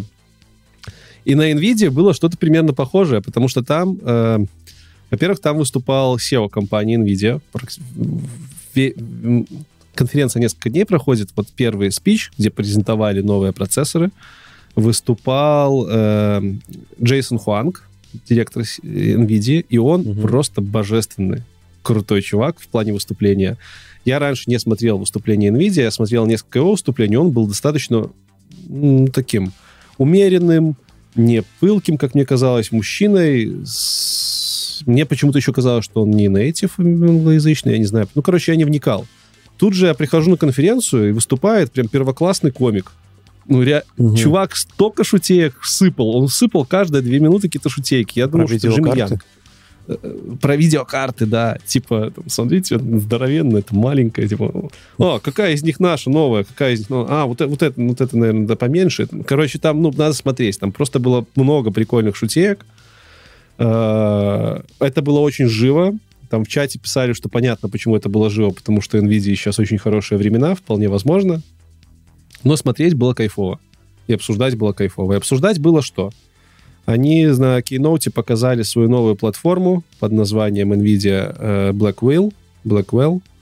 Это новое семейство процессоров для обучения нейронок, которое по перформансу, по, чисто, по чистому приросту мощности, по-моему, в три раза или в четыре раза мощнее, чем их последние, э, ха-ха, как они называются, короче, карточки H100, H200, mm-hmm. Hyperloop, не помню, как они называются. Э, по мощности обучения нейронок они там чуть ли не в 20 раз вроде как по графикам превышают то, что существует сейчас. Они, в общем, сделали здоровенный скачок, очень сильный скачок с этой платформой. Со всех сторон она была лучше того, что сейчас существует. Э, он там местами шутил, что типа, ну, зато она будет, теперь эта платформа будет стоить миллиард долларов. Он стоит типа, а, вы знаете, сколько это будет стоить? Будет стоить 10 миллиардов. Зал такой сидит, типа, видно по лицам, что чуваки такие, походу, поверили. Он такой, типа, да не, забейте. Цену узнаете потом, все нормально. Необычно. Да. Э, круто, крутые процессоры, э, крутые характеристики. В рамках конференции он показывал характеристики старых их процессоров, не характеристики, а показывал, как их железо вообще отрабатывало последний год на мощных задачах. В частности, вот хуперы, хупер называются их угу предыдущее поколение процессоров, он показывал, что на одной очень крутой задаче 8 тысяч хуперов работали 90 дней, и вот мы такие молодцы, мы эту задачу закрыли. Задача это называлась... Это задача такая? Да, Train GPT MOE 1.8T. Угу. То есть, для тех, кто не понимает, это GPT-4. То есть он прямым текстом на слайде показал, что они обучали вот на таких-то мощностях GPT-4. Это просто мега мощность. Это очень большая мощность. И там одна эта карточка Хупер, она, по-моему, от 6 терафлопсов до 4000 терафлопсов в разных конфигурациях. 4000 терафлопс это, ну, не на одном 15 ноутбуке. 15 мегаватт там написано. 15 мегаватт они, да, тратили на эти карты. 15 мегаватт, это же как-то слишком до нет? Да. Это что, ну, ну да. я не, уже очень плохо помню, но это что-то в духе какого-нибудь маленького цеха. А, ну, ну, вы можете посмотреть, сколько киловатт вы за электричество платите типа в месяц за свой дом. Ну, там будет, я думаю, порядка нескольких десятков максимум киловатт. Окей, сколько, сколько фабрика потребляет среднестатистическая? Есть Ой, такая ну, статистика в интернете? Наверное, наверное, нету. Ну, давай, 15 э, мегаватт. Это сколько? На примерах. Посмотрим, что нам ответит Perplexity. А, но пока он отвечает, скажу, что на слайдах часто писали про эту задачу, и нигде не писали GPT-4. У меня сложилось впечатление, что у них какой-то либо запрет, либо сговор с Microsoft, с Microsoft чтобы OpenAI на конференции вообще не упоминали. Про OpenAI... Думаю, там соглашение есть какое-нибудь. Про OpenAI реально не говорили, логотип не показывали, но Microsoft был везде, партнер во всем, чем только можно. И GPT MOE 1.8T, почему это GPT-4? Потому что GPT — это архитектура, которой владеет по факту OpenAI, значит, это задача на какой-то из моделей OpenAI. MOE — это миксин экспертов, это та архитектура, на которой GPT-4 работает, мы это знаем. И 1.8 триллионов параметров — это те цифры, которые тоже сливали в интернет относительно мощности потенциально GPT-4. Поэтому по всем uh-huh. параметрам вот GPT-4 90 дней тренировался на супердорогом environment. 15 мегаватт. Эквивалентно мощности 15 15 тысячам бытовых приборов по одному киловатту. Ну, спасибо. Я это и сам мог посчитать. Пишет дальше. Например, мощность 15 мегаватт может быть сравнима с мощностью 15 тысяч электростанций по одному киловатту. Ну, окей, окей. Ну, ладно, нам вот в чате пишут, что 15 мегаватт — это не очень много для промышленности. Посмотрим. Блин, и что недавно в Беларуси украли солнечную электростанцию на 170 мегаватт. Вот на 170 мегаватт. Такая. Блин, да, явно, явно, явно какую-то нашу народную картофельную лампу делают, обучают. Леша. Я белорус, я могу так шутить. Э, вот. Вот такая конференция была. Я прям советую посмотреть. Она приятно смотрится. Э, именно Keynote, именно вот этот Keynote speech э, от э, директора, директора SEO компании. Еще из прикольного показали, очень много там говорили про роботостроение. Прям на сцену выходил такой милый робот, похожий на Валли или на угу. чувака, на робота из, Ан, из Андора ну, сериала. Эти гифки я видел, да. Да. Они, почему роботов много показывали, потому что тоже презентовали новую платформу, называется Project Groot. Это foundational модель, либо даже семейство модели, я точно уже не помню, которая направлена именно на работу как мозг будущих гуманоидных, гуманоидных роботов. Вот. А, мы уже рассказывали, у них есть целая платформа для этих роботов, там всяческие системы, типа ИСАК, какие-то там еще были, по-моему, в 26-м выпуске мы обсуждали. Вот угу. это теперь будет одно из э, направлений работы всех вот этих наработок. Короче, NVIDIA в роботы идет. Ну и оно и понятно. Они захватили Но мир. Они железо делают. Как? Да, hardware, они делают железо. Наверняка у них в планах пойти на B2B рынок и делать промышленных роботов. Это не про то, что они будут делать андроидов, которые будут по нам стрелять. Скорее всего, нет. Ну, пока что подождем с этим, да. Да. Наверное, по NVIDIA это все. Давай закончим таки рубрику основных больших рыб. Закончим да, твоей любимой компанией. Закончим моей любимой компанией Apple. Там немало новостей, но быстро их пробежим, они не сильно большие. Пробежим быстро. Apple купили Darwin AI, а, про которую мы тут уже пару раз, кстати, упоминали. Упоминали а, разве? Да, упоминали про Darwin AI, я ее точно помню. Я не очень помню, что она делает, честно говоря. Ты помнишь, что э, делает Дарвин Что она... Дарвин и я, наверное, этих обезьян тренирует. Да, ну, скорее всего, да, потому что Apple... Не, это стартап, у нас же прям написано, я же прям писал. Стартап, стартап, специализирующийся на визуальном контроле качества и создании эффективных моделей искусственного интеллекта. А, ну, типа, Apple хайрит экспертизу в создании LLM, что неудивительно, с одной стороны. Э, с другой стороны, это удивительно, потому что они параллельно, следующая новость, это то, что они э, налаживают отношения с Гуглом и прям хотят встроить в свои следующие операционные системы Gemini. Вот этого я не понимаю. Почему да. Apple хочет встроить Gemini? Откуда мы это взяли? В смысле, откуда мы это взяли? Это новость такая. Нет, это, ну, там нету в новости, что Apple прям хочет встроить к себе Gemini. Там новость есть, что они звучит будут... как Apple is in talks to let Google Gemini power iPhone AI features. Угу. Ну, они... есть... Они ну, говорят о том, что... Блин, я, я все равно не, не верю, что Apple вот так поступит. Это очень не в стиле Apple. Так вот тут и надо подумать. Э, в той же статье говорится, что они похожие переговоры ведут и с OpenAI. Угу. А учитывая, что это Apple, им и те, и те могли бы ответить положительно, то есть кажется, будто бы они в телефоне... Ну, если бы это была какая-то левая маленькая компания, я не знаю, какой-нибудь э, Google Pixel, ладно, Google это Google большая компания, какой-нибудь Xiaomi, это тоже большая, ну что-то маленького есть, я не знаю. Какой-нибудь Motorola, она бы пошла просить такие интеграции, потому что у них нет собственных мощностей, собственных планов делать LLM, это раз. А во-вторых, потому что это сейчас тренд, и им нужен хоть какой-то стабильный и мощный провайдер, который это будет предоставлять. Поэтому они бы пошли к тем и к тем просить, надеждой на то, что хоть кто-то ответит. Apple же крупная компания, которая вроде как имеет амбиции делать свои решения, нанимает mm-hmm. тех же Дарвина и Яев, другие компании, выкатывает свои open source покупает, прям покупает. И в это же время она идет разговаривать с крупнейшими игроками, чтобы встроить их в экосистему iOS. Вот это угу. непонятно. То есть в лучшем вот случае у них этом, будет да. своя экосистема, плюс Gemini гугловый, плюс OpenAI. Как это может смержиться в одном телефоне? Но, не знаю, может быть, конечно, они что-то покупают, чтобы сделать маленькую локальную модельку, которая будет как-то проксироваться в большие модели. Ага. Ну, это ну, возможно, да.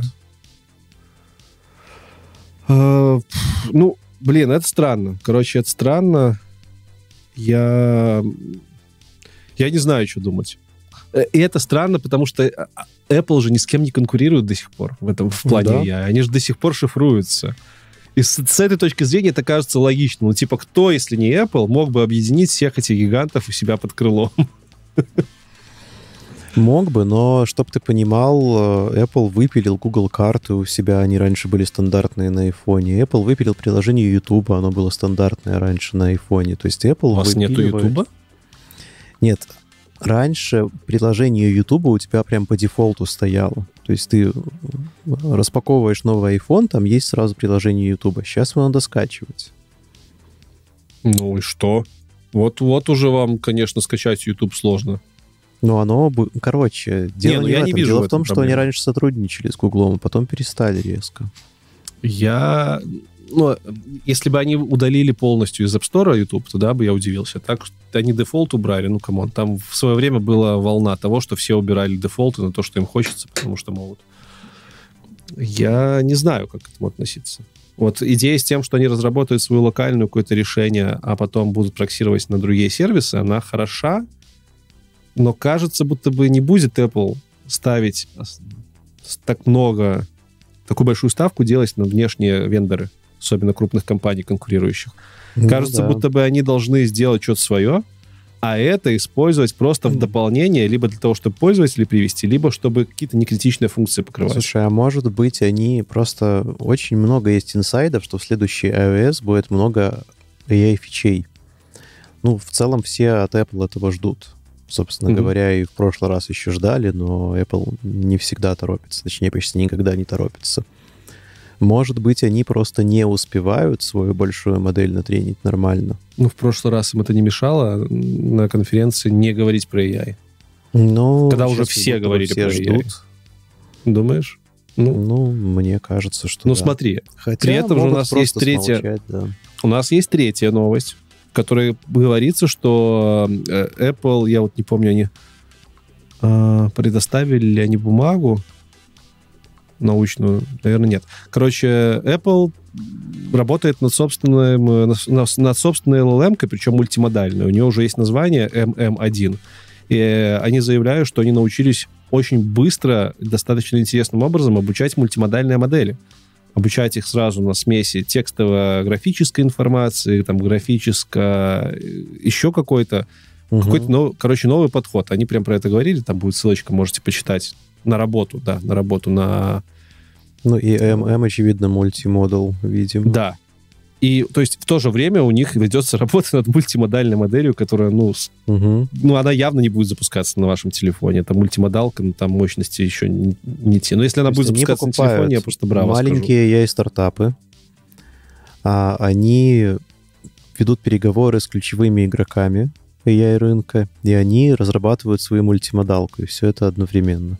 Будто бы они вообще за все тянутся. Знаешь, Может, э, есть несколько просто подразделений, там, какое первое успело. Ну да, Apple большой, может быть, это новости из разных подразделений. Но если представить, что у Apple есть какая-то единая концепция, они ее придерживаются, то хочется на нее посмотреть, честно говоря. Может быть, они... Я накидываю сейчас. Они готовят следующую версию шлема виртуальной реальности, микс реальности. И они понимают, что для того, чтобы сделать из шлема конфетку, им нужно, ну, просто дофигическое количество разнообразных AI мощностей, которые они просто не в силе сейчас предоставить. И поэтому они сейчас ищут интеграцию, чтобы закрыть вот эту вот необходимость, чтобы показать в будущем какую-то конфетку. Может, в шлеме, может, в телефоне. То есть, может, Возможно. у них какая-то есть супер идея, для реализации которой пока что не, не хватает. Но надо брать, потому что кто-то другой реализует быстрее. Слушай, вот или, может быть, они хотят у Гугла купить доступ к Gemini, чтобы дообучить свою модель на нем. Нет, там по полисе запрещено. Есть другой вариант. хотят договориться. Ну, да не, навряд ли они договорятся. Это же все-таки конкуренция. А вот другой вариант, типа, скупить побольше мощностей OpenAI и у Google и просто полить на тепло, чтобы, чтобы у них да, пользователи кстати, все лагало. тоже вариант. В день релиза iOS 18. Это был бы, конечно, шаг очень такой Слушай, красивый, да. с одной стороны, да? Да. Прикинь, ну, просто вот выходит новости. iOS 18, чат GPT ложится на Все ложится. И чат GPT, да. и этот, и Gemini, и все нафиг ложится, и все. И, все таки... и Apple такой, хотите AI, приходите к нам. Да, мы единственная в мире. Единственная AI-компания. С нормальным девопсом, да. Так. Что еще? Что еще? Рубрика «Что, что еще?», еще? Пам-пам-пам. А еще, да, Витя сходил на перерыв и замечательно причесался. Мне прям нравится. Спасибо большое. Леша, я старался замечательно причесаться. А знаешь, кто еще замечательно причесался? Кто же? Inflection AI. Знаешь, что такие Inflection AI? Кстати, да, Inflection AI. Это, это те самые ребята. Которые очень которых, хотят ну, попасть в рубрику «Большие рыбы», но у них никак не получается. Вообще говоря, могли. Ну, типа, они побольше, чем Cognition Labs. Но это те самые ребята, которые, с которых мы в 14 выпуске слегка подугорали, потому что они ходили тогда на прием в Белый дом вместе с OpenAI, вместе угу. с Google, вместе с Microsoft. Как знаменитые с... лидеры AI рынка. Да, там звали в Белый дом лидеров AI рынка, и туда позвали какой-то Inflection AI, который вообще непонятно, что делал. Но с тех пор они уже подраскрутились. И теперь-то мы знаем, что они делают модельку под названием Pi. Угу. Странно, кстати, почему их Маск до сих пор не выкупил, учитывая, что Грок... Ха... Мо... Блин, у меня есть теория. Был бы Грок... тогда Пигрок. Нет, это, в том-то и прикол, что Грок это есть Пи. Ну-ка, почему? Докрути. Давай, ты сможешь. У меня только не в сценарии аналогии. Смотри, Грок на, 3000, на, на 314 тысяч параметров, миллиардов А-а-а, параметров. Маск просто ошибся с запятой. У него на самом деле Грок это Пи. Они, короче, уже давно выкупили этот Inflection AI, либо скачали, взяли у них движок Все и сделали понятно. Грока. Потому что работают они примерно на одном уровне, как по мне, что Пи, что Грок. Слава богу, что ты выкрутил эту шутку так, потому что у меня там совсем варианты Ну и, в общем-то, что? Они выпустили модель две недели назад, Inflection 2.5. До этого у них был Inflection 2 Instance, не Instance, как это называлось, не помню. Короче, они попытались похайпить с этой моделью, сказали, что она в когнитивной способности круто, она круто в так называемой области STEAM, STEM, STEM, STEM. Mm-hmm. Наука, технология, инжиниринг, математика. В общем, расписали как обычно, что чуть ли по тестам она там не превосходит четверку, по факту ну, я прям да, пошел, потыкал. Ну, хорошо, если она 3,5 обскакивает, и то по некоторым моментам. Она не умеет в языки малые, прям совсем плохо. У нее нет опишки, угу. у нее нету соединения с интернетом. В общем-то, чуть более лучшая версия Грока, но все еще никакущая да, и по сравнению с закрытыми моделями существующими. Фиг с этим инфлекшеном, учитывая то, что большую часть команды недавно купил Microsoft. Вот понимаешь, когда они показали эту модель 2.5 свою, Inflection 2.5, я подумал, что, блин, чуваки, ну вы совесть имеете, зачем так пиариться? А потом, когда вышла новость, вот буквально недавно, что Microsoft скупила большую часть их команды, мне их прям жалко стало. Но они, блин, они показ... ну, после этой новости мне показалось, что они были на уровне какого-нибудь там Мистраля, знаешь, такие чуваки кустарные, которые там сидели, mm-hmm. что-то старались. Вот у них реально получилось даже в Белый дом как-то пробиться, понимаешь? Может, они, может, это мы просто смеемся, а они на самом деле так старались, из кожи вон вылазили, что даже в Белый дом пробились. И тут их просто берет и скупает Microsoft. Угу. Причем даже не их. Вот расскажи, что там произошло.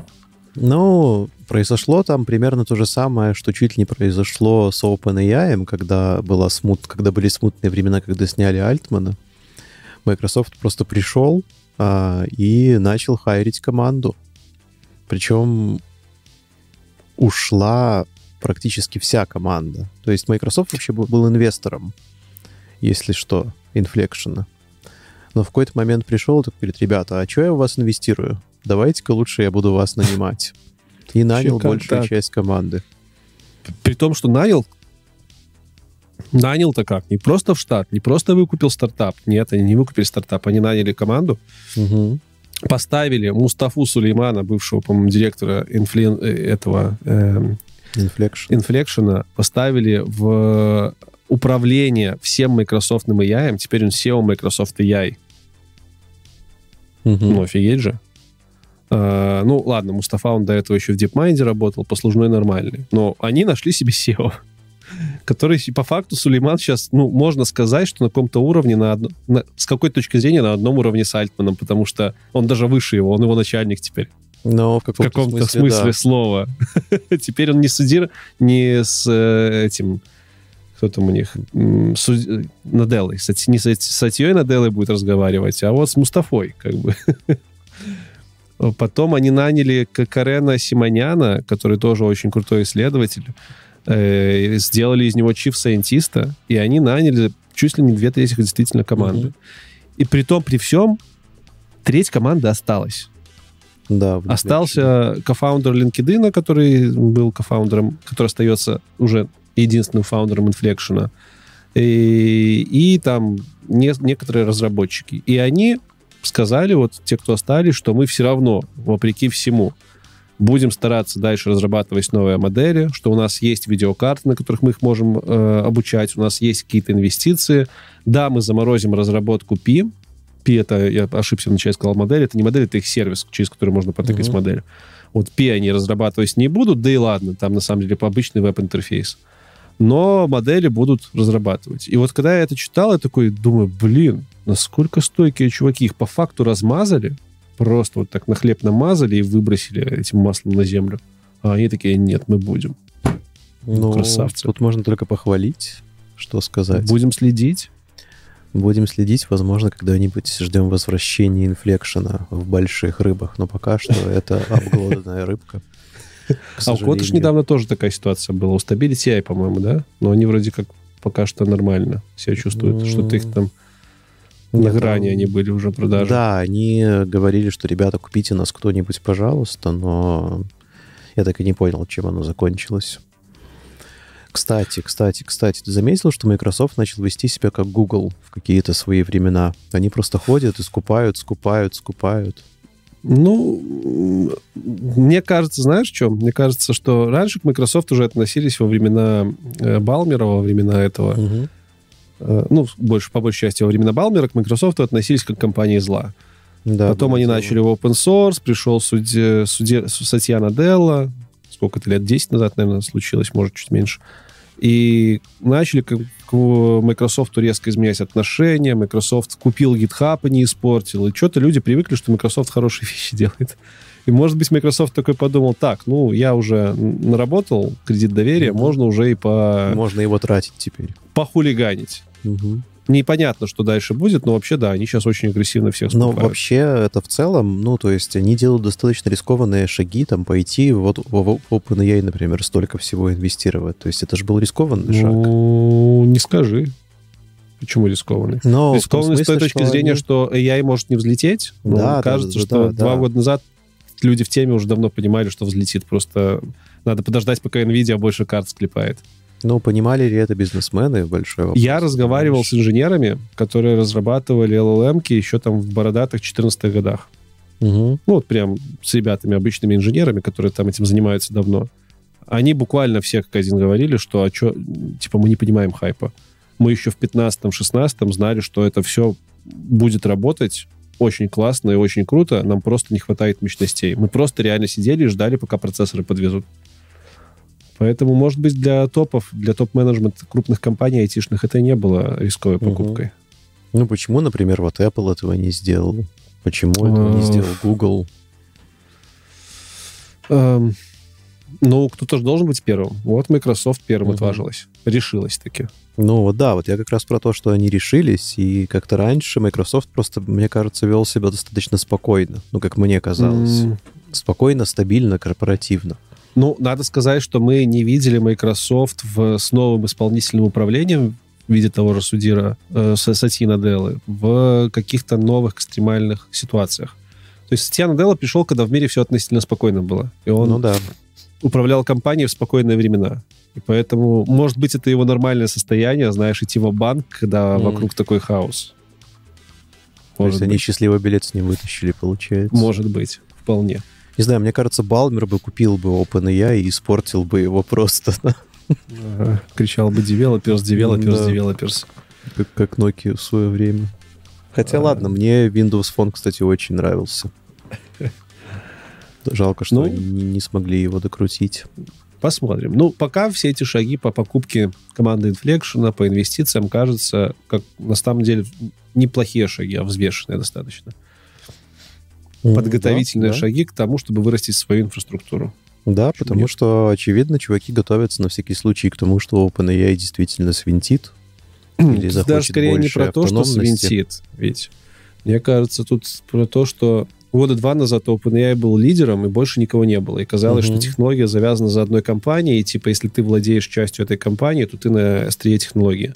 Сейчас, кажется, будто бы появилось уже много решений, в том числе open source, в том числе много инженеров на рынке, которые могут делать похожие решения. Ну да. Антро, антропик тому доказательство. Можно делать такие решения другими командами. То есть и кажется, что технология уже оторвалась от компании. И более того, технология уже даже... Она все еще во главе, все еще LLM во главе, но решения вокруг этой технологии начинают появляться качественные, и эти решения тоже выходят по импакту на какой-то один уровень с самой технологии, на базе которой они базируются. И, и получается, Microsoft смотрит просто в будущее. Он понимает, что когда-то LLM станут базой, умные LLM, и на фоне этих баз будут выстраиваться более крутые технологии. И как бы мы с базой уже интегрированы. Сейчас нам надо думать, как наращивать команду, чтобы потом наращивать крутейшие технологии вокруг базы, которая уже есть. И тогда она будет у всех. Вот они и наращивают команду. Хм. То есть отрываются от реализации, абстрагируются, да, как в программировании. Mm-hmm. Делают фасад на LLM-провайдеров. Да, мы айтишный подкаст, йоу. Вообще. Сейчас нам накидают, ага, фасад. Это вообще не фасад, это коннектор. Ты не абстрактную фабрику мне разверни, черт. Абстрактная фабрика не разворачивается, это паттерн. Ладно. Мне нравится, как ты сам с собой ведешь дискуссии. Я примерно так и учил программирование на зеркалом. А, да. Э, Хайген тоже попал в что еще. Там буквально быстрая новость. Они угу. разослали всем email рассылку, что у них вышла пятая версия их веб-интерфейса. В этой версии из нового почти ничего, кроме того, что они лабораторные проекты свои, в которых, напоминаю, был э, липсинг с переводом видео, то есть видео перев перевод видосов на другие языки с синхронизацией губ и э, реалтаймовые аватары, которые можно запускать там на вас. Можно сделать своего аватара и в реалтайме через него прям на стрим его подключать, и он будет общаться текстом угу. с людьми. Вот это все Я было видел, у них в лабе, да. Теперь это у них доступно в обычной подписке в веб-интерфейсе. Больше ничего там не подвезли. Ну, интерфейс еще поприятнее стал. Так Я даже видел не пользуюсь, сегодня смотрите. видос, как чувак так собеседование проходит с помощью аватара. А, там э, с этим стриминг-аватаром там вообще здоровенная может сфера получиться. Пока что к нему доступ можно получить только после личного собеседования с Хайгеном, ну, как собеседование. Mm-hmm. Там есть уровни подписок, и вот чтобы получить доступ к API стриминг-аватара, тебе надо купить подписку корпоративную, в которой нет фиксированной стоимости. Для этого надо поговорить с их сейлзами. Не знаю, сколько она стоит.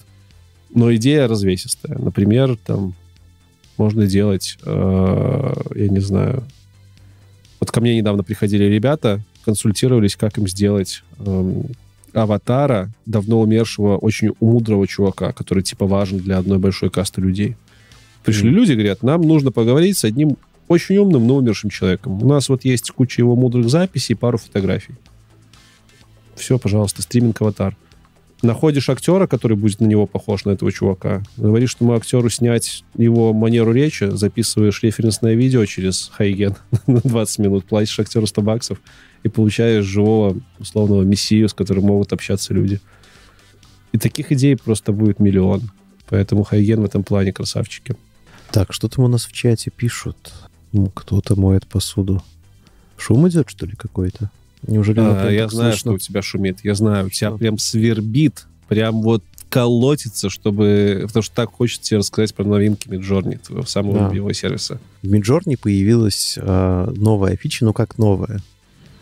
Сейчас я поясню. Она называется Character Reference. Э, используя очень айтишный ключ в команде Midjourney Imagine Siref, можно добавить э, ссылку на изображение, например, свою фотку. И это изображение будет использовано как референс. То есть ты, э, например, пишешь Imagine, там, Picture of Superman, да, то есть, типа, фотку Супермена, и через сереф указываешь свою фотку, и Midjourney быстро понимает, что ты хочешь э, человека, который был в серефе, в референсе, превратить в Супермена. И тем самым можно себе генерировать эти вот самые аватарки, подставлять свое лицо супергероям и вообще кому угодно, для чего угодно. А, что здесь нового, тяжело сказать, потому что раньше был, была фича для микса, можно было замиксовать несколько изображений. Не, ну микс тебе выдавал совершенно рандомных людей. Я пробовал mm. себя миксовать с другими угу. объектами, ты получаешь просто реально среднее, ты себя не получаешь. Ну, а все равно можно было... Себя. Раньше все равно можно было указывать фотку как референс. Можно было ссылку Она не работала ведь. Фото... Ну, работало, ну, типа... но плохо.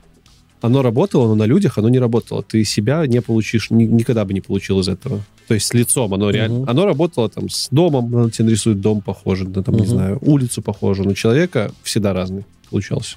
Ну, ладно, я согласен, да. Фича прикольная, фича прикольная, фича убьет, возможно, в будущем парочку стартапов, которые продают аватарки. Я думаю, фича убьет Миджорни. Может ну смотри, я, я не понимаю, как они вообще, как им это разрешают делать. Google генерировал э, черную э, эту черную э, королеву Елизавету, угу. Единственное хорошее решение, которое нашла большая компания Google, чтобы понизить этот уровень э, diversity, просто отключить генерацию людей. Почему, почему в Midjourney еще нет такого шквала э, Ты жалоб? Что Google — это корпорация, которая сама себя регулирует. А Там пожаловалось, может быть, 6 человек. И они уже так. такие, а, черт побери, мы собираем волну хейта срочно, срочно, срочно. Это, возможно, повлияет там на наши акции. Давайте с этим что-то делать, выпускать пресс-релиз, ай-яй-яй. Миджорни, по-моему, всегда э, действовали по принципу, типа, ребят, нам пофигу. То есть ты думал... Блин, я даже сейчас хочу купить подписку. Они, я хочу купить они подписку, до сих пор чтобы... копирайтовых персонажей генерируют, Леш. То есть я О потенциально могу через Midjourney пойти загрузить фотку Тейлор Свифт и получить обложку для плейбоя? Я думаю, что да, но единственное, что они То, эротику... против чего она боролась так долго. Они же, ну, они эротику не разрешают делать, но для какого-то, типа, просто модного журнала точно сможешь. Прикольно. Прикольно, то есть оставишь лазейк. Давно я, на самом деле, Midjourney не пользовался, надо прям занести. Но я им не платил тоже порядочно пару месяцев. OpenAI Я планирую такое. опять начать, когда появится веб-интерфейс. А то меня Discord подзадолбал, честно говоря. Никогда, никогда. Ну, уже даже есть скриншоты этого веб-интерфейса. Да, уже даже скриншоты есть. Сколько, да. сколько они уже это альфа-тестирование проводят? Месяца да, 4, месяца наверное. два, наверное. Примерно, ты, блин, ты вот, ты вот руководитель отдела JavaScript разработки. Ты видел, блин, чтобы интерфейсы так долго тестировали? М-м, тяжело сказать. Тяжело сказать. А если если ты хочешь, чтобы его долго тестировать, то, а, ну, то тогда, Это может, и подольше странно. можно. Ну, как, да, там, очевидно, какие-то интересы третьих лиц, потому что не могут так долго рисовать очередную... Ну, возможно, Discord обертку. против. Возможно, кстати, да, может быть, Discord против. Э, да, это что касается Midjourney. А еще у Stability AI был релиз. Кстати, для компании, у которой все плохо, они с завидной периодичностью делают релизы. У нас буквально в каждом выпуске релизы Stability AI. И практически все они open source что-то выкладывают с этими релизами. Поэтому респектуха, с одной стороны, с другой стороны, вот он, пожалуйста, open source не может сам себя содержать, все у него плохо постоянно. То есть модель open source, видимо, не мачится на наш мир хорошо. Так хорошо, как модель обычного бизнеса. В общем-то, Stability AI выпустили э, Stable Video 3D. Новая моделька, которая умеет генерировать 3D-видеосцены и 3D-объекты э, буквально по одной картинке. Для коммерческого использования вы можете им задонатить, для некоммерческого использования можете сходить на Hugging Face, скачать э, веса, скачать, скачать раннеры, попробовать запустить это дело. В принципе, ничего нового в том, что с одной картинки 3D генерируется. Таких моделей мы уже много видели, но конкретно Stable Video 3D, оно работает на базе Stable Video Diffusion, который работает на базе Stable Diffusion. Вот так вот все у них интересно. Mm-hmm. И он работает лучше, чем все, что до этого Stable Stability AI показывали. До этого у них была самая крутая модель Stable Zero 123 XL, которая генерировала 3D. И вот Stable Video 3D делает это, по крайней мере, потому, по тем примерам, которые они показывают, он делает это лучше. Можно 3D посмотреть. видео еще пользуется популярностью, да? Я правильно понимаю? Ну, как 3D видео? Это по факту та же самая модель, просто в видеоформате. Ну, угу. Надо тебе оживить персонажа и не заморачиваться с тем, чтобы учиться пользоваться каким-нибудь Unreal Engine или э, что там еще есть для 3D, для блендером. А, то есть Взял, имеется в виду модели, 3D-модели, не 3D-видео, да, а 3D-модели. Да, да. Переходим к рубрике «Наука и техника». Наука и техника, хорошо. А давай расскажем для начала про OpenAI. А, если помнишь, мы разговаривали про Figure, чуваки, которые да. делают робота Figure Zero One. Красивый Фига человек. Один фига один, да, красивый человекоподобный робот, а, которого теперь интегрируют с OpenAI, с очень интересной формулировкой, а, достаточно человеческой, что компания Figure разрабатывает вот саму платформу и спинной мозг робота, как будто бы спинной мозг, а OpenAI как будто бы предоставляет головной мозг робота, который будет транслировать команды в спинной мозг. Как, как тебе такое как, описание? Как, как почему человечество все время ноет, что оно не хочет делать человека, потому что это сложно, это так... Угу. Это очень это другой уровень, это все очень не так, как мы представ...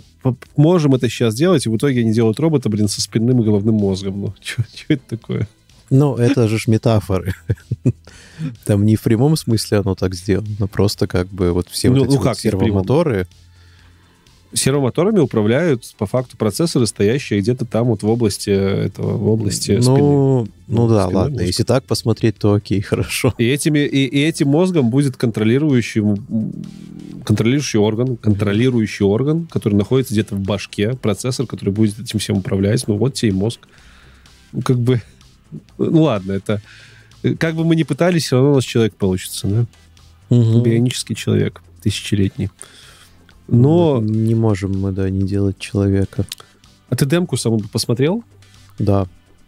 Она какая-то... Ну, я понимаю, что для демок делают абсолютно угу. кустарные условия, но... Синтетические. Так как, так как это OpenAI, который не склонен обычно привирать... Ну, ладно, они привирают, но не сильно. Скажем, на салфетке мы уже можем сайты писать, чат угу. скармливать. Выглядит очень красиво. Прям там стоит этот робот возле посудомойки, там тарелки эти раскладывает, раска... у него спрашивают, а что ты сейчас делаешь? Он говорит, ну вот это посуду раскладываю. Они говорят, а подумай, что ты можешь еще сделать, чтобы было логично сделать, чтобы сделал на твоем месте человек. Он стоит такой, ну, да, там на обработку запроса секунд 5 тратит, такой стоит, такой, ага, ну вот тут вот есть мусор, мусор надо убрать в мусорку, чтобы на столе было чисто. Берет и убирает этот мусор. И вот ты на это сделали смотришь. робота, короче, который моет посуду. А, офигеть! Наконец-то, да.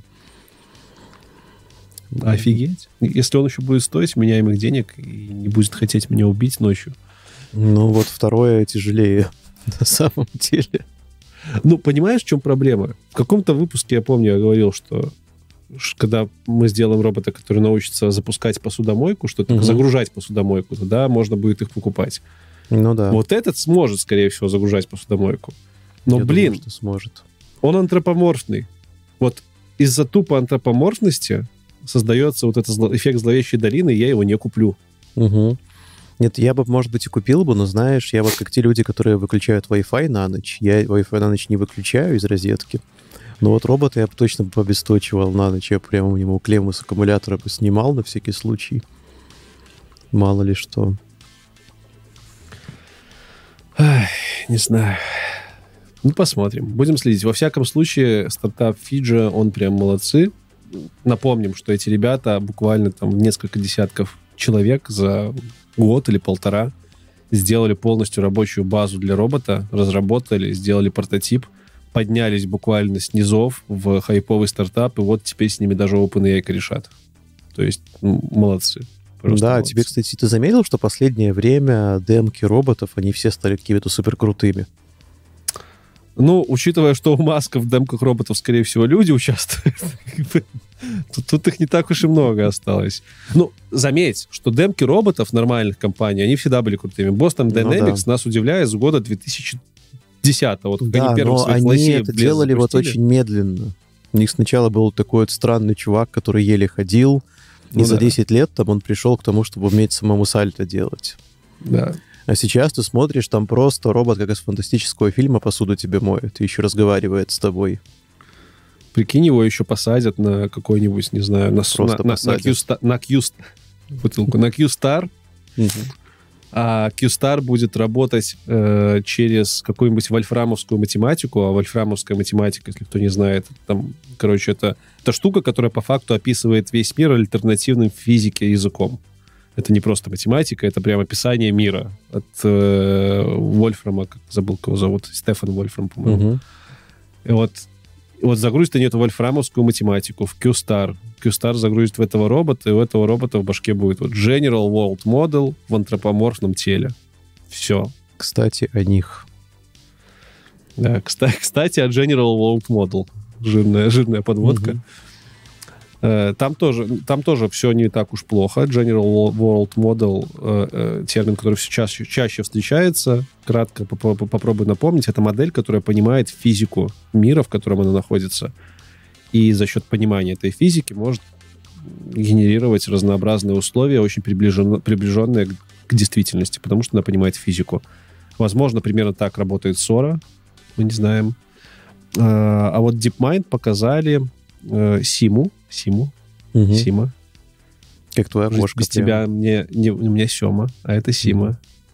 Жить без тебя невыносимо. По-моему, так пили. Так, Что-то- так, Короче, э, представили Симу. Э, это система построена на агентах, яичная, которую научили играть в игры.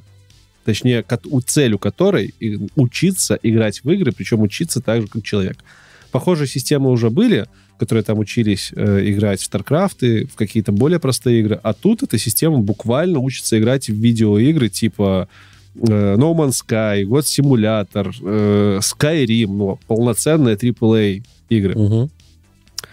Причем, насколько я понимаю, ей прям скармливают видеопоток, э, в ней загружена уже какая-то физика, и она пытается на своем опыте делать ошибки и учиться.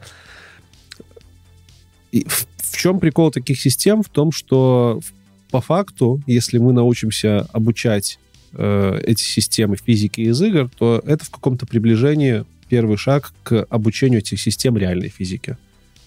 Какая для нее разница, скармливаем мы ей картинку из Skyrim или скармливаем мы ей картинку из реального мира? Там Ну, у нее- ей все равно, да. Ну да. Нужна только опишка еще какая-то, через которую она будет с этим миром взаимодействовать. В Skyrim это программная опишка, а Мгм. тут будет а тут надо робота робот. Да. Да. Либо, либо, как вариант, мы тут недавно рассуждали, будет ли это будет ли когда такое будущее, когда роботы будут сами осознавать мир через взаимодействие с ним. Мы пришли к выводу, что есть альтернативный вариант, когда вот эти системы, типа вот, типа вот этой Симы, они будут просто на э, каком-нибудь апворке создавать э, низкооплачиваемую, низко, какую-нибудь частотную работу людям. Типа вот там, мне надо узнать, как яблоко выглядит. Она создает, типа, работу, пойти куда-нибудь, собрать яблоко и описать, как они выглядят, какие у них свойства. И все. Им не нужны роботы дорогостоящие. Но для этого опорк не нужен. Нужно просто купить капчу у Гугла и модифицировать ее, и все. Ну да. В общем-то, продвигаемся в науке. Продвигаемся достаточно большими шагами. А дальше у нас твоя любимая рубрика, насколько я знаю, все-таки. Ой, это, моя самая любимая рубрика. Давай. Закон и порядок. Закон вот и эту порядок. музыку, вот эту, вот эту музыку включить в старый из фильма или откуда она была? Вот какую-нибудь такую. Это была бригада. Да, наверное. Я вообще почему про Робокопа думал, но я что-то не помню, какая музыка про Робокопе. Не помню, что какая-то очень пафосная, на этом все. Ладно, Робокоп пафосный, индийское правительство не очень пафосное, потому что, как, как вы помните, они сначала запретили и, ну как запретили, они хотели принять закон, который разрешает white list, по сути. Буквально в прошлом выпуске мы это обсуждали. Да, да, да, да, да. То есть можно было работать в Индии. Там на самом деле мы немножко неправильно сказали. Мы сказали, что они запрещают работать у себя и стартапом. На самом деле они разрешали работать и стартапом, но только тем, кто сертифицировался в правительстве, в Министерстве информации индийском. Ну, по факту запрещали, как бы. Ну, по, по факту это, по сути, равно запрещению, уровня. да, да. Но словили ребята хейта, и это вот то правительство, которое... С чего бы? Ну, непонятно. Но это вот внезапно то правительство, которое, когда ловит хейт, умеет идти на попятную.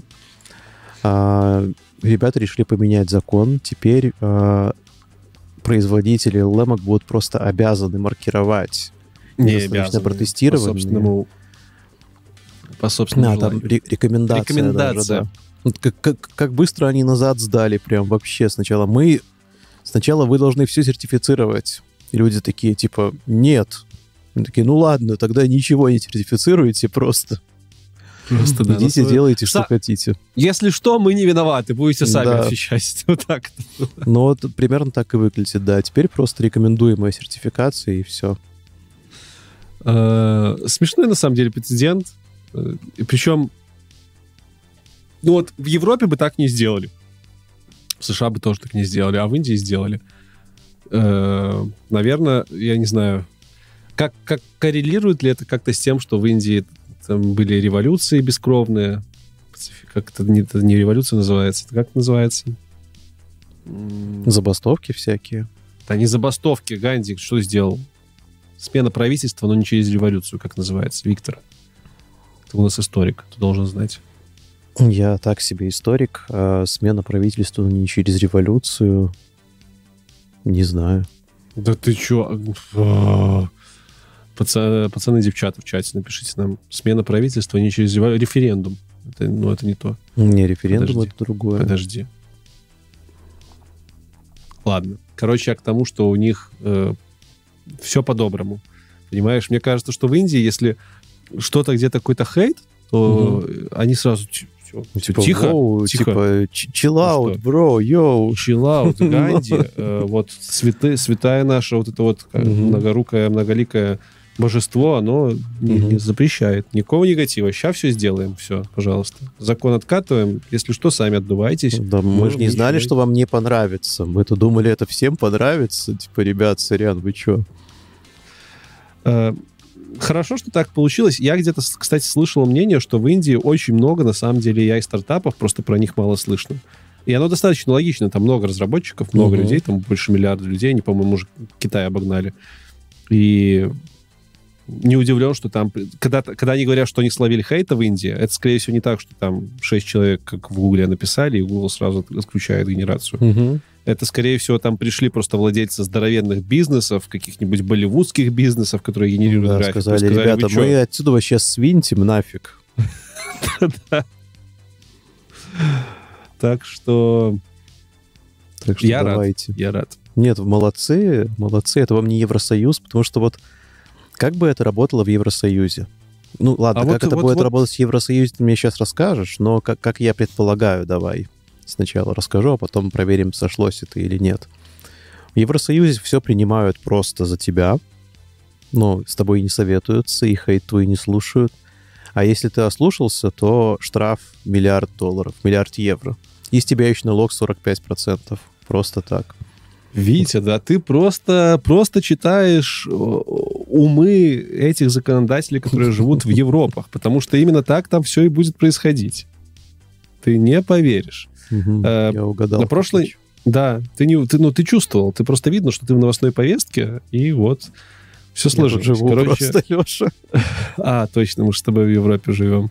Кстати, забавно, ты вот чувствуешь то, что ты вообще к этому не причастен. Вот мы живем с тобой, там, ты в Литве, я в Польше, угу. и у меня такое ощущение, что это вообще у меня проходит, что вот эти вот все AI-акты европейские, они где-то вот, не знаю, где-то в Америке почему-то. За границей. Ну, то есть не ощущается, будто Нет, бы это я... здесь с тобой происходит. Да, наверное, да. Не знаю, может, это с гражданством приходит. Ну, проверим через лет 10. Фишка в чем? AI-акт, мы про него рассказывали вам очень подробно в 23-м выпуске в декабре. Э, это такой здоровенный документ, который призван урегулировать AI, самый жесткий пока что законодательный документ, который должен урегулировать AI. Его, естественно, предложили в Европе.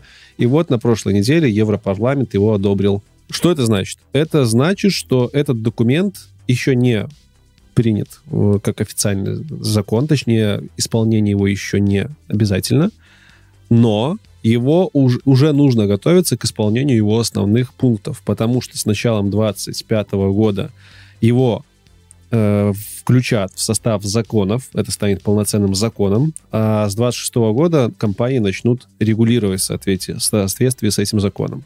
В чем там прикол? Э, во-первых, сейчас я вам прям зачитаю. Э, часть систем, бла-бла-бла-бам, бам-бам, некоторые системы, запре... некоторые системы будут запрещены полностью. Например, система социального рейтинга или система биометрической информации, в частности, распознавания лиц. Ну, понятно, ЕС за персональные Ничего данные такого. очень печется, и хорошо в целом, кстати. Да. Э, дальше будут разнообразные градации систем, в частности, к высокорисковым системам будут относиться критические инфраструктуры, миграционные службы, медицинские системы, образовательные системы и финансовые системы. Такие системы должны будут, будут проходить процедуру изучения, проверки до выхода на рынок, повторять ее в течение срока эксплуатации. То есть проверочки. Если вы делаете в критических инфраструктурах проекты, проверочки. Тут интересно, как это будет работать. Если какой-нибудь там банк захочет GPT э, заюзать где-то у себя во внутренних системах, ну или школа какая-нибудь, то это нужно будет GPT-сертификацию проходить, OpenAI-сертификацию проходить, чтобы mm, школа могла да. заюзать. OpenAI. Или, или, или если школа разработает на базе OpenAI решение, вот этому решению нужно будет проходить сертификацию. По идее, модели нужно проходить. Uh, ну, значит, они хороший кусок отраслей просто отсекают для OpenAI, либо OpenAI будет башлять бабки и проходить, что тоже возможно. Я думаю, что OpenAI пройдет ее в первом же. Ну, у них слишком широкое назначение. Плюс, я думаю, им не сильно хочется быть грушей для битья, ведь на первых таких э, моделях, которые пройдут эти проверки, будут оттачивать дальнейшее угу. их повышение либо ослабление. Ну, это да, кажется. это да. А, дальше про генеративный AI там тоже сказано, что он не относится к рисковым, но должен соблюдать законы в части авторского права, четко инициировать использование AI в результатах работы, не использовать для генерации незаконного контента и обеспечить прозрачность использования авторского контента для тренинга моделей, бла-бла-бла. Короче, генеративки будут сертифицировать. Ну, все. Ну, точнее, будут приходить ко всем, кому надо. Вот сделал ты стартап Мистрали AI, пожаловался на тебя твой соучредитель, потому что денег не поделили, что ты учишься на чем-то незаконном. Пришел к тебе государственный деятель и сиди, отдувайся. Угу. В общем, а штрафы там ого-го. Да, со штрафами тут уже традиционно все очень хорошо. Мы помним, что за GDPR просто конские штрафы сразу угу. же вменили. То есть, если ты собираешь больше данных, чем надо, и ты крупный бизнес, то готовься отдавать проценты от, от чуть ли там не оборота годового.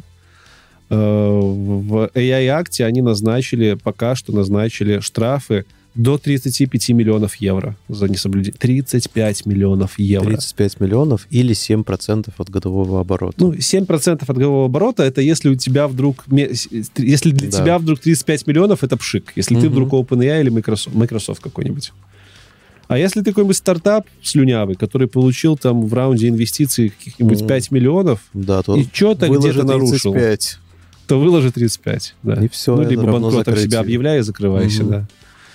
Э, наверняка до 26 года много чего изменится, потому что сейчас будут первые реакции, будут угу. компании на это как-то реагировать, стараться повлиять на это.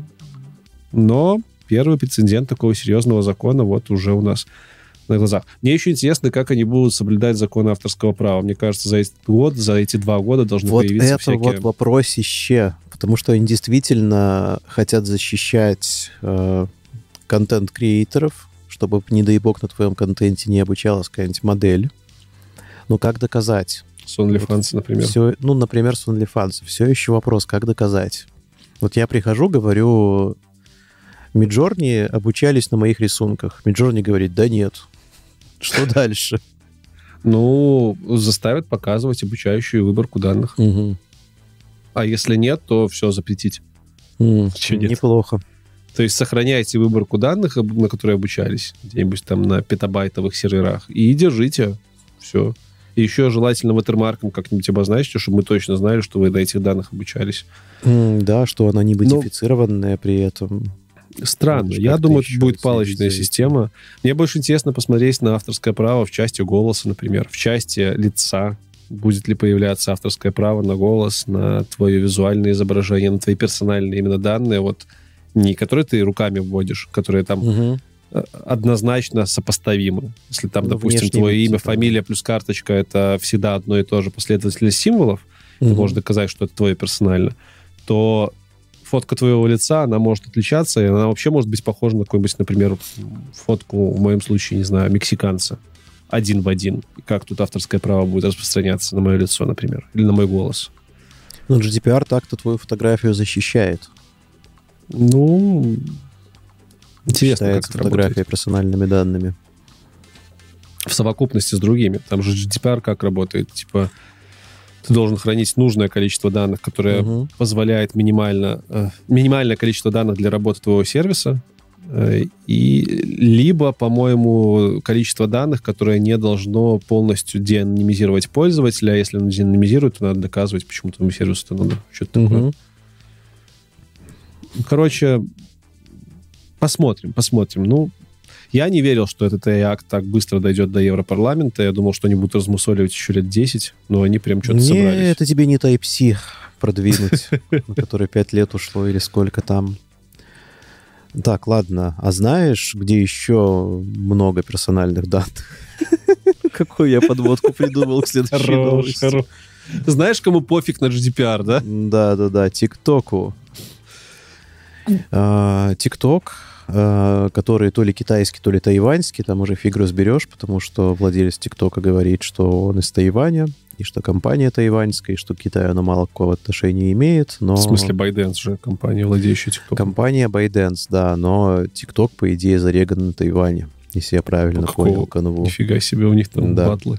Там Поэтому, может, своя... Тайвань не захватывает. Прикинь, если Тайвань захватит, они в ТикТоке опубликуют, что нам нужна подмога.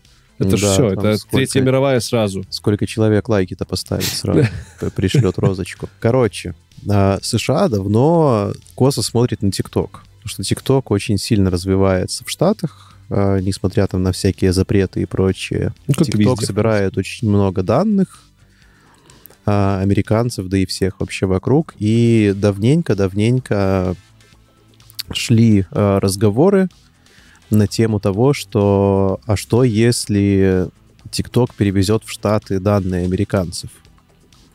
Пожалуйста. Или э, если какая-нибудь компания, например, выкупит TikTok, американская компания, вот американцы вот так вот могут сделать, да, что типа, а давайте мы у вас все это дело купим. Ну, да, да, и, да. А почему есть новость к нам? Хороший вопрос, причем эта новость к нам, а, она к нам подходит, потому что ByteDance, ByteDance, который владеет TikTok, ByteDance является разработчиком AI-сервисов. Не видишь ли ты в этом достаточно логичный ход со стороны правительства США?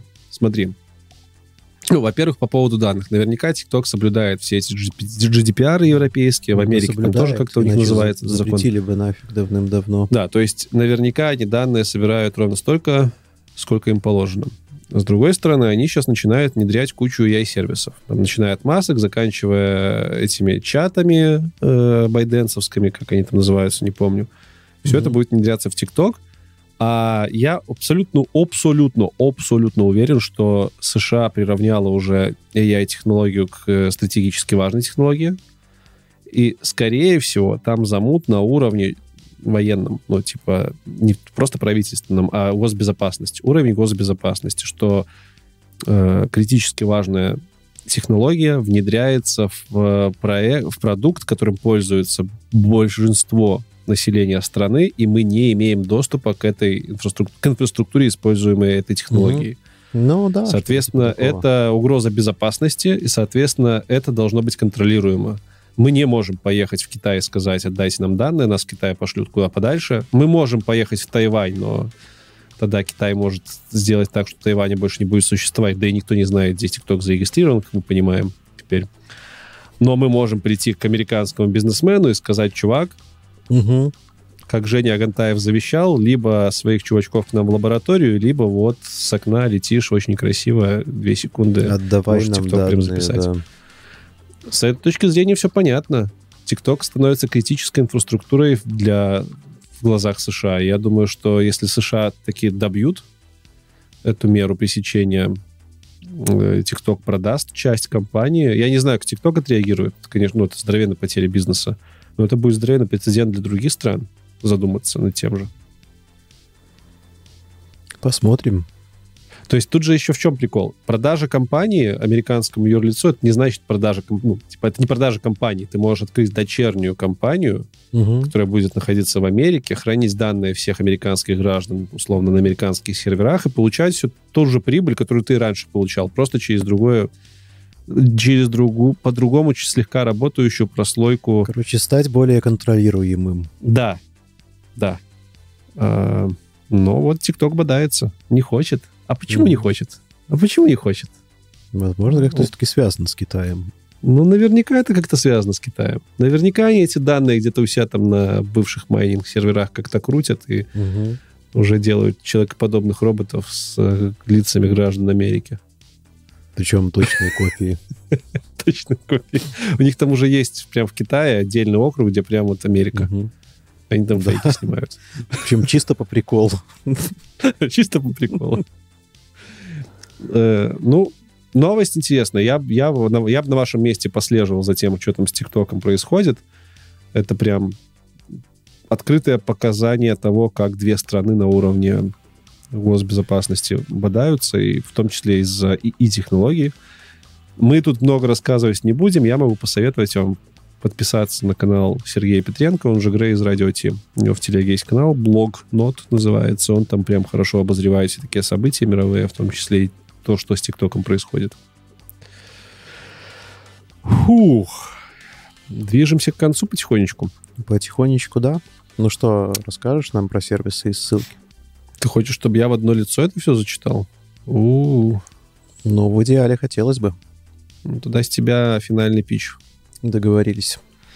Хорошо, давай сюда быстренько по сервисам и ссылкам прибежимся. Первый сервис будет для не айтишников, а для всех, для создателей контента. Pictory AI или Pictory AI. Это сервис, который позволяет на базе текста создавать э, коллажи видео и накладывать достаточно качественно э, субтитры по этому тексту.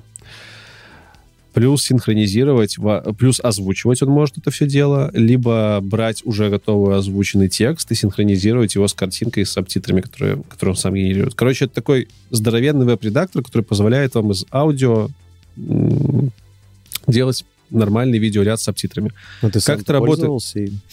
Да мы им пользуемся вовсю. Мы наш подкаст, который э, называется... Эм, блин, я забываю. Most Human Like. Most Human Like подкаст. Вы уже могли видеть на него ссылку. Подкаст, который на 90% генерируется ишкой, видеоряд, субтитры в нем генерируются ну, этим сервисом. Вначале про него рассказывали как раз. Да. Можете посмотреть, как это выглядит, и использовать в своих работах. Это, кстати, улучшенная версия. Знаешь что? Помнишь, мы с тобой обсуждали InVideo? Да. сервис, который делает то же самое. Он компилирует под под, он генерирует текст с нуля и под текст компилирует э, видеоряд. со стоков, да. Вот тут то же самое, единственное, тут ты сам можешь текст загрузить, сам его отредактировать, еще и субтитры mm-hmm. получить, еще и озвучку синхронизировать. То есть это еще лучше, чем тот сервис. И тут есть три бесплатные генерации. То есть можно э, до трех видосов бесплатно сгенерить, посмотреть, как работают абсолютно все фичи. Это что касается Pictory. Дальше у нас есть новости по вышедшим штукам для программирования. Во-первых, ну как вышедшим, они уже давно существуют, просто про них надо было рассказать, не было места. Во-первых, Amazon Q. Те из вас, кто использует э, Amazon Code Whisperer, это заменитель э, GitHub Copilot, то есть интеллектуальный линтер, штука, которая продолжает за вас писать код. Э, Amazon Code Whisperer, он бесплатный, его можно использовать в IDE-шках, Visual Studio, в IDE-шках JetBrains, а если подключить еще Amazon Q, это часть Amazon Code Whisperer, то у вас появится еще и бесплатный GitHub Copilot чат. Вот так. Если вы не знали, что такое Amazon Q, прям советую. Не хотите денежку платить GitHub, можете бесплатно у Amazon попробовать код Whisperer плюс Q, и будет у вас все классно. Вторая штука — это, наверное, один из самых популярных эм, продуктов для запуска локальных LLM у себя на компе. Он называется Olama. Он появился еще тогда, когда ламу слили первую. Он, собственно, появился для того, чтобы эту ламу запускать. А мы разве не рассказывали про него? Мы про него, нет, не рассказывали. Он, может быть, мелькал э, в каких-то выпусках лейтмотивом, но так отдельно нет. В общем-то, Уламу можете скачивать. Улама поддерживает запуск просто невероятного количества open-source моделей. У них прямо на сайте есть этот список, там их штук, я не знаю, штук 8, ну ладно, не 80, ну несколько десятков точно. И, по-моему, у них даже api есть. То есть можно через... Э, может, этот код dev, код dev, это тулза, про который мы уже говорили, которая позволяет запускать ИИ-чаты в IDE-шках, она под капотом использует Оламу, в том числе для проксирования запросов на локальные LLM. -ки. Сейчас кто-то вышел из чата просто из-за количества аббревиатур. Но я вас не отпущу. Это блок у нас сегодня такой Э, дальше инструмент, который нам в чате ребята скинули, и прям замечательный. Я вообще не задумывался, что он есть open source. Open source это CoQE или. .ai. Коки. Коки. Э, кстати, Коки, да. Хорошо, хорошо. Это локальный текст-to-speech. Вы можете скачать этот проект, он open source, э, и с помощью его собрать у себя на сервачке, либо, может, даже на компе, я не пробовал, штуку, которая будет из текста генерировать голос. Ну, по факту, ближайший аналог это код Whisperer. Код Whisperer, не код Whisperer, а Whisper. Whisper. Да? Угу. Whisper OpenAI, но он тоже open source бесплатный, но он работает ну, как отдельный продукт, а это прям конструктор. Там можно разные подключать штуки для генерации текста, для генерации звука, э, голоса и все остальное. На каких Идем языках дальше. работает? А? На каких языках работает, не смотрел? 10 а, языков там, по-моему, поддерживается. Русский есть? Не, в GitHub, в GitHub достаточно этот, четкое описание. Русский, хороший вопрос. Давай посмотрим. 16 языков пишут, что он поддерживает, но быстро угу. у меня не получается. И can speak 13 языков. Mm, нормально. По-моему, в чате ребята, которые нам скидывали, они как раз-таки через него русскоязычного э, диктора озвучивали, и, по-моему, даже звучало неплохо. Mm. Блин, круто, еще и локально. То, что надо. Да, это качество не Eleven Labs, но это достаточное качество, условно, для вашего какого-нибудь голосового домашнего ассистента, если вам надо. Да, на умный дом поставить. Да. Кстати, в чате дополняют еще, что у код Whisperer есть дополнение для командной строки, для терминала. Да. Ты, установив код Whisperer, можешь э, терминал писать натуральным языком. Единственное, там надо проверять то, что он генерирует, потому что в терминал, если что-то не то напишется, то можно прям сделать больно своей системе, либо своему серверу. Э, дальше идем. Дальше у нас модели. Две модельки, на которые стоит обратить внимание. Во-первых, в чате часто нас спрашивали, какая самая мощная open source модель на данный момент, которая существует вообще для общего широкого спектра задач. Есть разные, э, есть разные топы в которых сравниваются по разным параметрам эти модели. Лично э, мой фаворит — это э, чат-бот Arena Leaderboard. Это такой лидерборд, который э, тестирует все эти LLM на достаточно широкий спектр задач. Собственно, поэтому это чат-бот Arena. И в этом чат-бот-арене там тестируют все модели, закрытые и открытые. Из открытых моделей там, э, кстати, кстати, на момент написания моего сценария на, там лидировал Queen 1.5. Угу. Это, это от Alibaba моделька, мы про нее рассказывали. 72 миллиарда параметров. Она лидировала. Но буквально два дня назад, насколько я могу видеть, Мистраль а, нет, все нормально. Мистраль Large на седьмом месте, Queen 1.5 на восьмом. Но Мистраль Large она закрытая. Мы не можем mm-hmm. ее скачать. Поэтому из открытых open source моделей самое крутое по чат-бот-арене лидерборду это Queen 1.5. Э, попробуйте, если интересно. Я думаю, квантизованная, кванти... короче, уменьшенная модель может и на более-менее нормальном компе запуститься. Я до этого лидерборда долго думал, что самая мощная это Mistral 8 X7B. Почему-то мне казалось, а оказалось, что Mistral 8 X7B вообще на 13 месте так-то. А Код Лама вообще там где-то... Не Код Лама, а Лама 2 вообще на 26-м. Угу, однако. Вот. А про Квин как-то мы особо и не говорили. Знаешь, ну, с тобой... Квен, мне кажется, но... Квен, Квен, угу. короче, да. Так что пробуйте. Вторая модель, блин, я уже прям устал, будто, будто бы записываю соло-каст, Витя. Ну, прости, пожалуйста, прости. Ну да, сегодня дофига программерского стафа, который ты не сильно любишь. Э, вторая модель, Валера, спасибо тебе за наводочку. Э, сложное название. C4 AI Command R — Модель на 35 миллиардов параметров. Ну, чем примечательна? Ну, вроде не самая большая. Кстати, на лидерборд арене, интересно, она есть. Я прям не смотрел. 4 AI. Нет, нет, почему-то. Может, добавят потом. А, в общем-то, эта модель на 35 тысяч параметров. А, у нее широкое контекстное окно, 128 тысяч токенов. Прям очень приятно. Но самое главное, что она умеет, она умеет враг. Враг.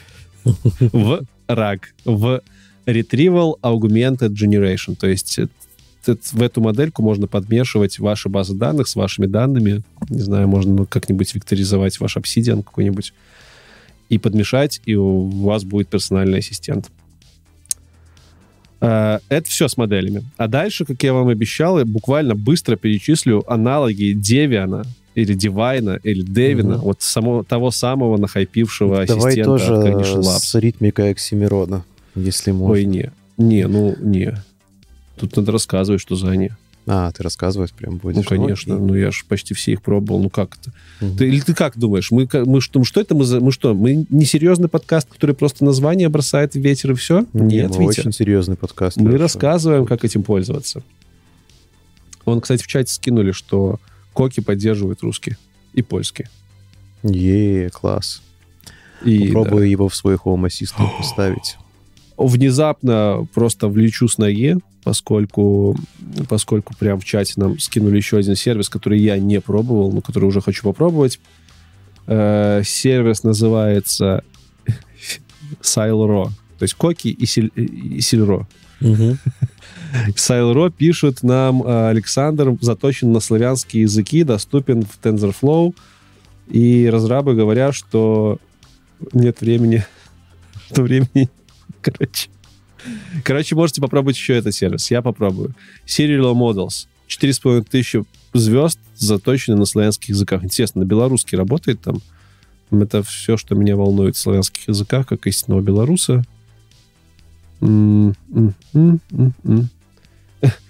Currently we provided the following checkpoints. English, German, German, Spanish, Ukrainian.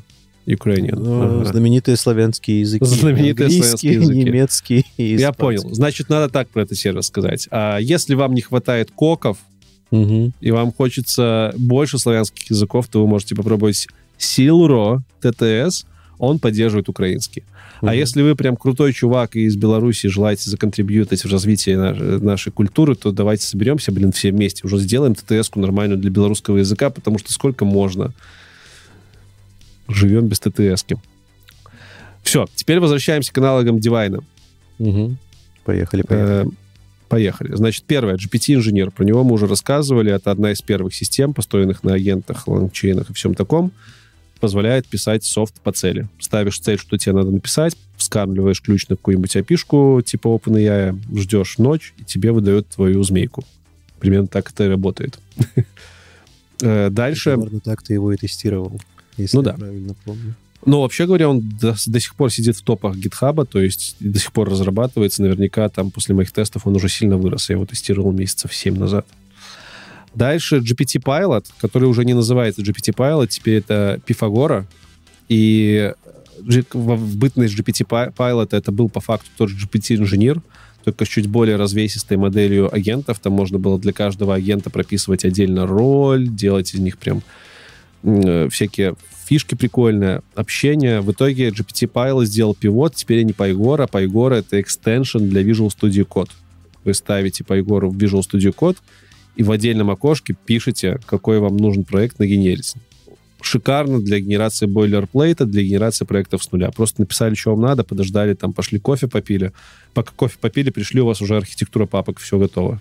Берите только и исправляйте. Mm, Пифагора.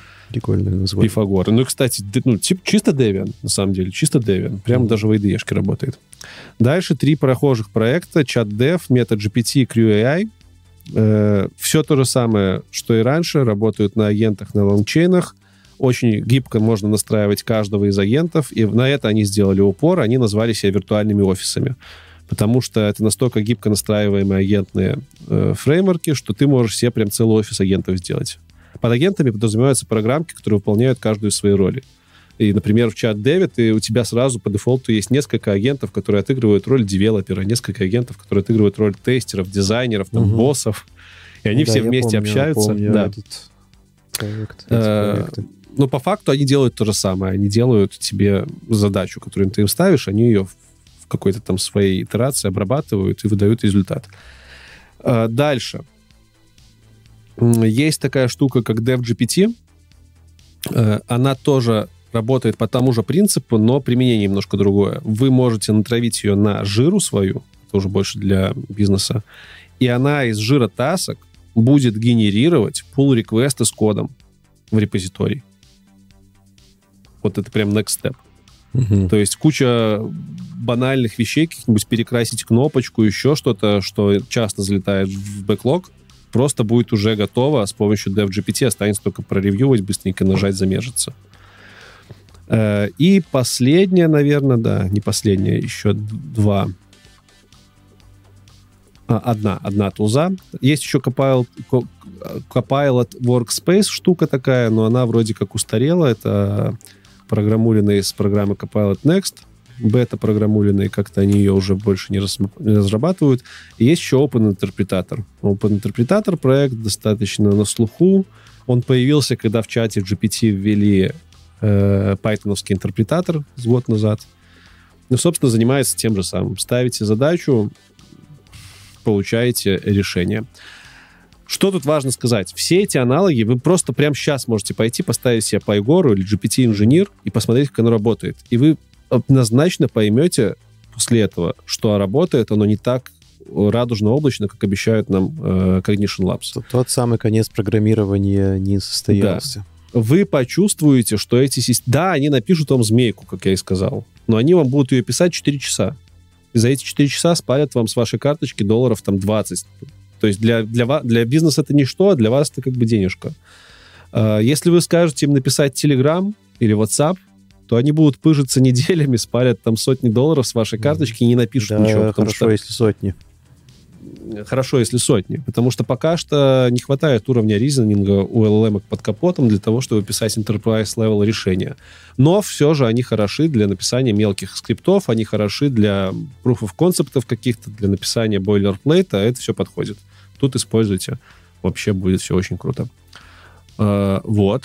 Вот, это очень полезный выпуск. Видишь, мы сказали, как Debian бесплатно исп- поиспользовать и понять, что это не игра. Это еще не конец. это еще не конец. Фух. Я все. Спасибо большое, Леша. Знаю, что ты выдохся. Вот, сорян, что тебе пришлось это все в одно лицо затаскивать, но давай я тогда расскажу тебе про нашу этичную рубрику чуть-чуть. Точнее, не про саму рубрику, а про то, что сегодня будет внутри нее. Давай. А там буквально одна новость, э, базирующаяся на твите. Некие чуваки э, из Твиттера выложили видос. В этом видосе они взяли э, дрон DJI Tello. Э, если что, это очень дешевый маленький дрончик, который вот на ладошку помещается. Он стоит там буквально 120 баксов, по-моему. Ну, типа того, он копейки стоит. Э, это, по-моему, вообще один из самых дешевых DJI-евских дронов. Э, и э, запрограммировали его с помощью моделей таким образом, что он может следить за человеком.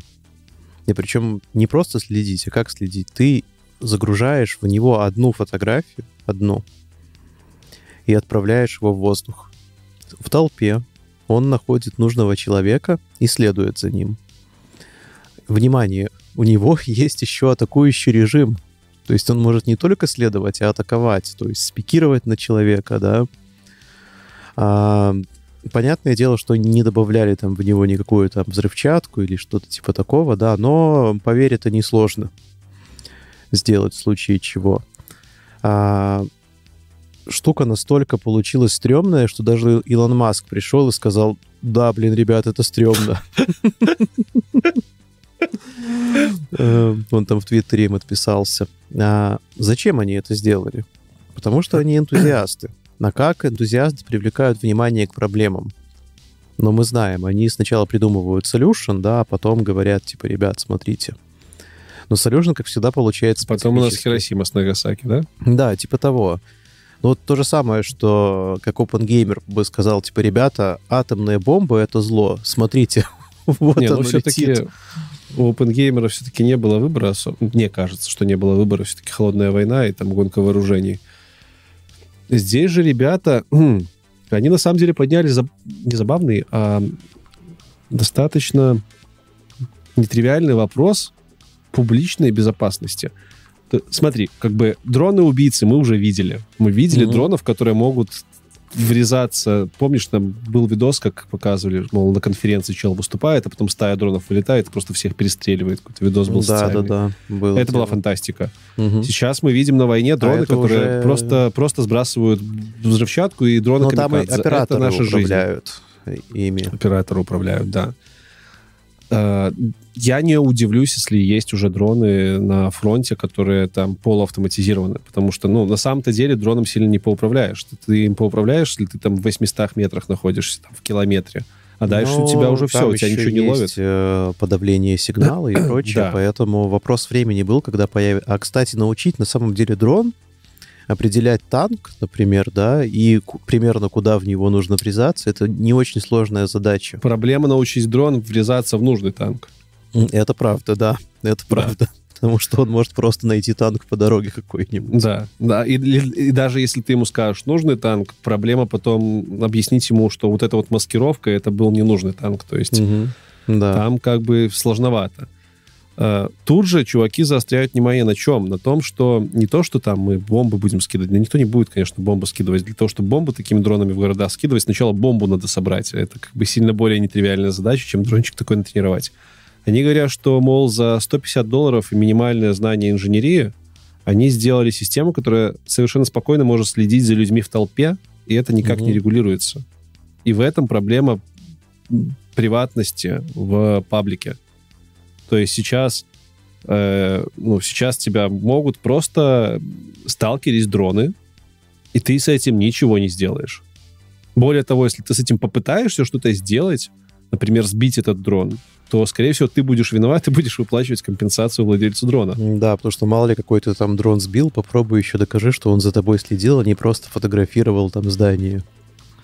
Э, и, ну, и на самом деле проблема социально достаточно, достаточно такая. И я не удивлен, почему Маск пришел и сказал, что это страшно, потому что я, я прям представляю, что, ну, скорее, скорее всего, на Маске это и опробуют. Как помнишь, был твиттер-аккаунт, да. который отслеживал его авиаперелеты. Угу. Ну, кого еще отслеживать, как не самого импозантного, богатого и мудаковатого мужика в мире? Ну, конечно, его. Да, я думаю, там скоро рой этих дронов будет просто летать за ним. И, и как бы Слушай, что делать? это и, получается, забирает работу у папарацци теперь. Э, ну, кстати, кстати, Ну, их-то не жалко, на самом деле. Ну, там, это, конечно, дичайший прототип, там чуваки показывали этот режим атаки. Это режим атаки, это, на самом деле, режим докучивания. Этот дрон просто типа летает вокруг тебя, нападает на тебя, ну за mm-hmm. полметра, за метр обратно отлетает, знаешь, такая, типа... Как назойливая птица. Назойливая птица, но... Э, ну, если это подкрутить, то... Ну, еще у них в толпе он теряется, потому что нам на самом деле важно, они по одной фотографии с не самым лучшим инженерным скиллом это сделали. То есть по одной mm-hmm. фотографии да. в небольшой толпе человека отслеживает. Если это чуть докрутить, то даже в большой толпе не будет ложных срабатываний, ну и будет ну, такое себе. Ну, короче, все. В Китае, я думаю, это уже, уже вот завтра хотят внедрять. Зачем нам эти камеры неподвижные, да, думаю... мы запустим стаю дронов? Так может, камера дешевле, тебе не кажется? Стационарная. Камера дешевле, зато слепые зоны. Так у тебя стоит ну, 6 да. камер, а так ты... 6, смотри, у тебя стоит 6 камер на улицу смотрит, у тебя улица пустая, например. Угу. И 6 камер у тебя постоянно палят электричество. А так ты ставишь одного дрончика, который, если вдруг человек какой-то проходит, он просто поднимается, за ним следит весь путь исследования по своей территории. Но в каких-то кейсах это может быть дешевле. Что дронов надо. Не, ну я же не говорю везде. Я говорю, что в каких-то кейсах это может угу. быть дешевле. Кстати, из забавного я когда-то слышал байки, не знаю, насколько это байки, от э, своих знакомых разработчиков из Беларуси, которые работали в, НИИш, в НИИшках наших, такие алдовые чуваки. Они рассказывали, что в году 2007-2008 э, по Полесью уже бегали робо-олени с камерами. Я не знаю зачем, но они говорили, что они прям в НИИ разрабатывали вот Тогда только-только Boston Dynamics начинал показывать своих оленей. Mm, а у нас был Бобруйска Dynamics свой, да. А у нас, а, у нас по лесе они уже ходили, и чуваки mm. рассказывали, что можно было по Полесью гулять. И ты такой идешь, грибы собираешь, потом слышишь какой-то скрежет. Угу. Это Смотришь, разгибаешься, а там робо-олень, он сидел вот такой в амху угу. с развернутой антенной солнечной, заряжался. И вот он зарядился, и он, типа, он встает, сворачивает антенну и убегает. А, Чу... а за я... ним, короче, робо-медведь. Ну, типа... Слушай, мне это рассказывали, когда мне было там, типа, 20, ну, сколько, 19-20 лет. Может быть, конечно, меня стебали, но чуваки, которые это рассказывали, они были такие, достаточно серьезными мужиками. Так что, это то, что мы только глазами видим, а там он на Полесе уже знаете, что Ребят, творится. напишите, пожалуйста, в комментариях, кто шарит за белорусских робо-оленей, что-нибудь. Тогда мне только одного не объяснили. Зачем на Полесье робо-олени? Я у них спрашивал. Mm. Я говорю, пацаны, а зачем вы их разрабатывали? Они говорят, это максимум, что мы тебе можем рассказать. Типа, ну, просто знаешь, это прикольно. Что... Давай так. Ну, это ж круто. Ну. ну, блин, не знаю, не знаю. Ты прикинь, пойдешь на Полесье, блин, ягоды, в поход, а там робо-олень. Палатку поставил, на утро такой просыпаешься, ты уже скачешь на робо-оленя. Угу. Трындец. Нормально, нормально. Ну, я к тому, что, конечно, скорее всего, меня там разводили, это была какая-то либо шутка, либо перекрученная правда, но на сегодняшний день эта правда может стать былью вот прям за 200 долларов условных. И... Любой может собрать робо-оленя. Да. А что бы ты, если бы ты был директором, директором страны, если бы ты был директором страны, угу. Что бы ты сделал вот с такой новостью? Как бы ты к этим парням отнесся? Что бы ты им сказал? Или ничего, ты бы такой, ну ладно. Я бы сказал, ребята, есть. уберите, пожалуйста, своего дрона, он задолбал за мной летать. Ну, наверное, так. Нет, я про Слушай, то, что я... регулятор. Ты регулятор. К тебе угу. приходят с такой проблемой. Вот, типа, да меня дрон как? сталкерит. Окей, как-то. Единственный вариант решения — это запретить дроны в городах ну, просто вот э, давить э, сигнал. Хорошо, а... я, вот ты знаешь меня, я, я живу в деревнях. В деревнях, в деревнях mm-hmm. никто дронов не будет запрещать. Я прихожу ну, к да. тебе и говорю, начальник сельсовета, тут дроны заколебали просто. Выхожу из улиц на улицу, а они прям даже под березку сходить не дают, прям вот угу. снимают со всех сторон. Понимаешь? Ну, значит, нужна частная компания, которая будет ставить противодроновые ловушки у тебя на участке тогда нужна частная компания, которая будет ставить противодроновые ловушки, которая будет брать на себя юридические тяжбинушки. Потому что когда ко мне придет вот этот вот э, в кавычках собиратель грибов, который меня сталкивает mm-hmm. своими дронами и скажет, а что это ты мой грибной дрон сбил? Я скажу, Нет, это смотри, не я, это окей, вот та компания, иди разбирайся. Берем а, понятие частной собственности, да, и к ней добавляем еще воздушное пространство вот типа 100 метров от твоей земли вверх, это тоже твое. О, вот, вот это жирно. Вот это прям жирно. Вот. И вот если у тебя есть что-то пролетает, да, ты имеешь право это чем угодно сбить. И там уже будут люди изгаляться, будут всякие огнеметы ставить, мини такие ПВО с маленькими ракетками. Слушай, блин, вот это жирная идея. Если... А сейчас такого нету, да? Воздушное пространство над твоей территорией, оно как бы твоим не считается. Слушай, вот я хз, честно говоря. Наверное, нет. Это, кстати, интересный вопрос, потому что у меня когда-то был вопрос, насколько глубоко можно копать подвал и насколько высоко можно ставить дом. Типа тебе дают mm. участок земли, насколько он плоский в понимании законодательства, я так и не нашел ответа. Вот я тоже не знаю, честно говоря, не задумывался об этом никогда. Потому что представь, прокопай. Ну ладно, это я так тоже. Ты покупаешь участок на нашей стороне земли, mm-hmm. а на противоположный участок автоматически твой, потому что тебе да, дается использование вся плоскость. Вся, вся, не плоскость, весь вот этот вот странной формы цилиндр или что там, параллелепипед. И, и так как Земля крутится в какие-то моменты, когда он попадает на Луну, когда он пересекает его плоскость, его сечение угу. пересекает Луну, то у тебя на Луне появляется участок такой тоже. гуляющий, да. Ты можешь быстро бежать там, но... Но вообще, на самом деле, смотри, есть же э, типа воздушные трассы, да, там регулирование вот трафика в воздухе. И оно там начинается, господи, дай бог памяти, да я даже не знаю, со скольки оно начинается. Слушай, ну, э, кажется, но... что раньше таких проблем просто не было. Ну, условно, mm-hmm. там, 50 лет назад. Ну, ты дом строишь, ну, максимум ты там дом построишь, ну, трехэтажный, если ты супер богатый. Ну, а дальше что происходит? Да там ни самолетов не летает, там ничего нету, там только птички, кому это нафиг интересно. Mm-hmm. А сейчас меняются времена. Сейчас у тебя в воздухе за тобой могут сталкерить всякие устройства дешевые. И кажется, что будто бы законодательство должно тоже в ногу идти и меняться. Ну, да. Ждем от Евросоюза новый акт. Ждем новый акт. А ребятам в чате э, идея для стартапа делать миниатюрные эти установки ракетные, да? Чтобы маленькими ракетками сбивать маленькие дроны. Угу. Ну, это было бы очень по-американски. Я вот жду такой американский стартап, который сделает мини-ПВО для дома. Мини-ПВО для дома. Черт, этого не было в черном зеркале, видите? Ну, а пора бы добавить. Ай, ладно. Ну что, на этом у нас все сегодня. А, да, пора заканчивать.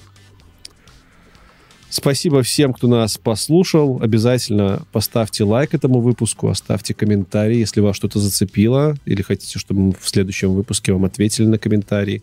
Обязательно делитесь видео и подписывайтесь на канал, если еще этого не сделали, и подписывайтесь на э, подкаст-платформы и ставьте звездочки на подкаст-платформах, это очень важно.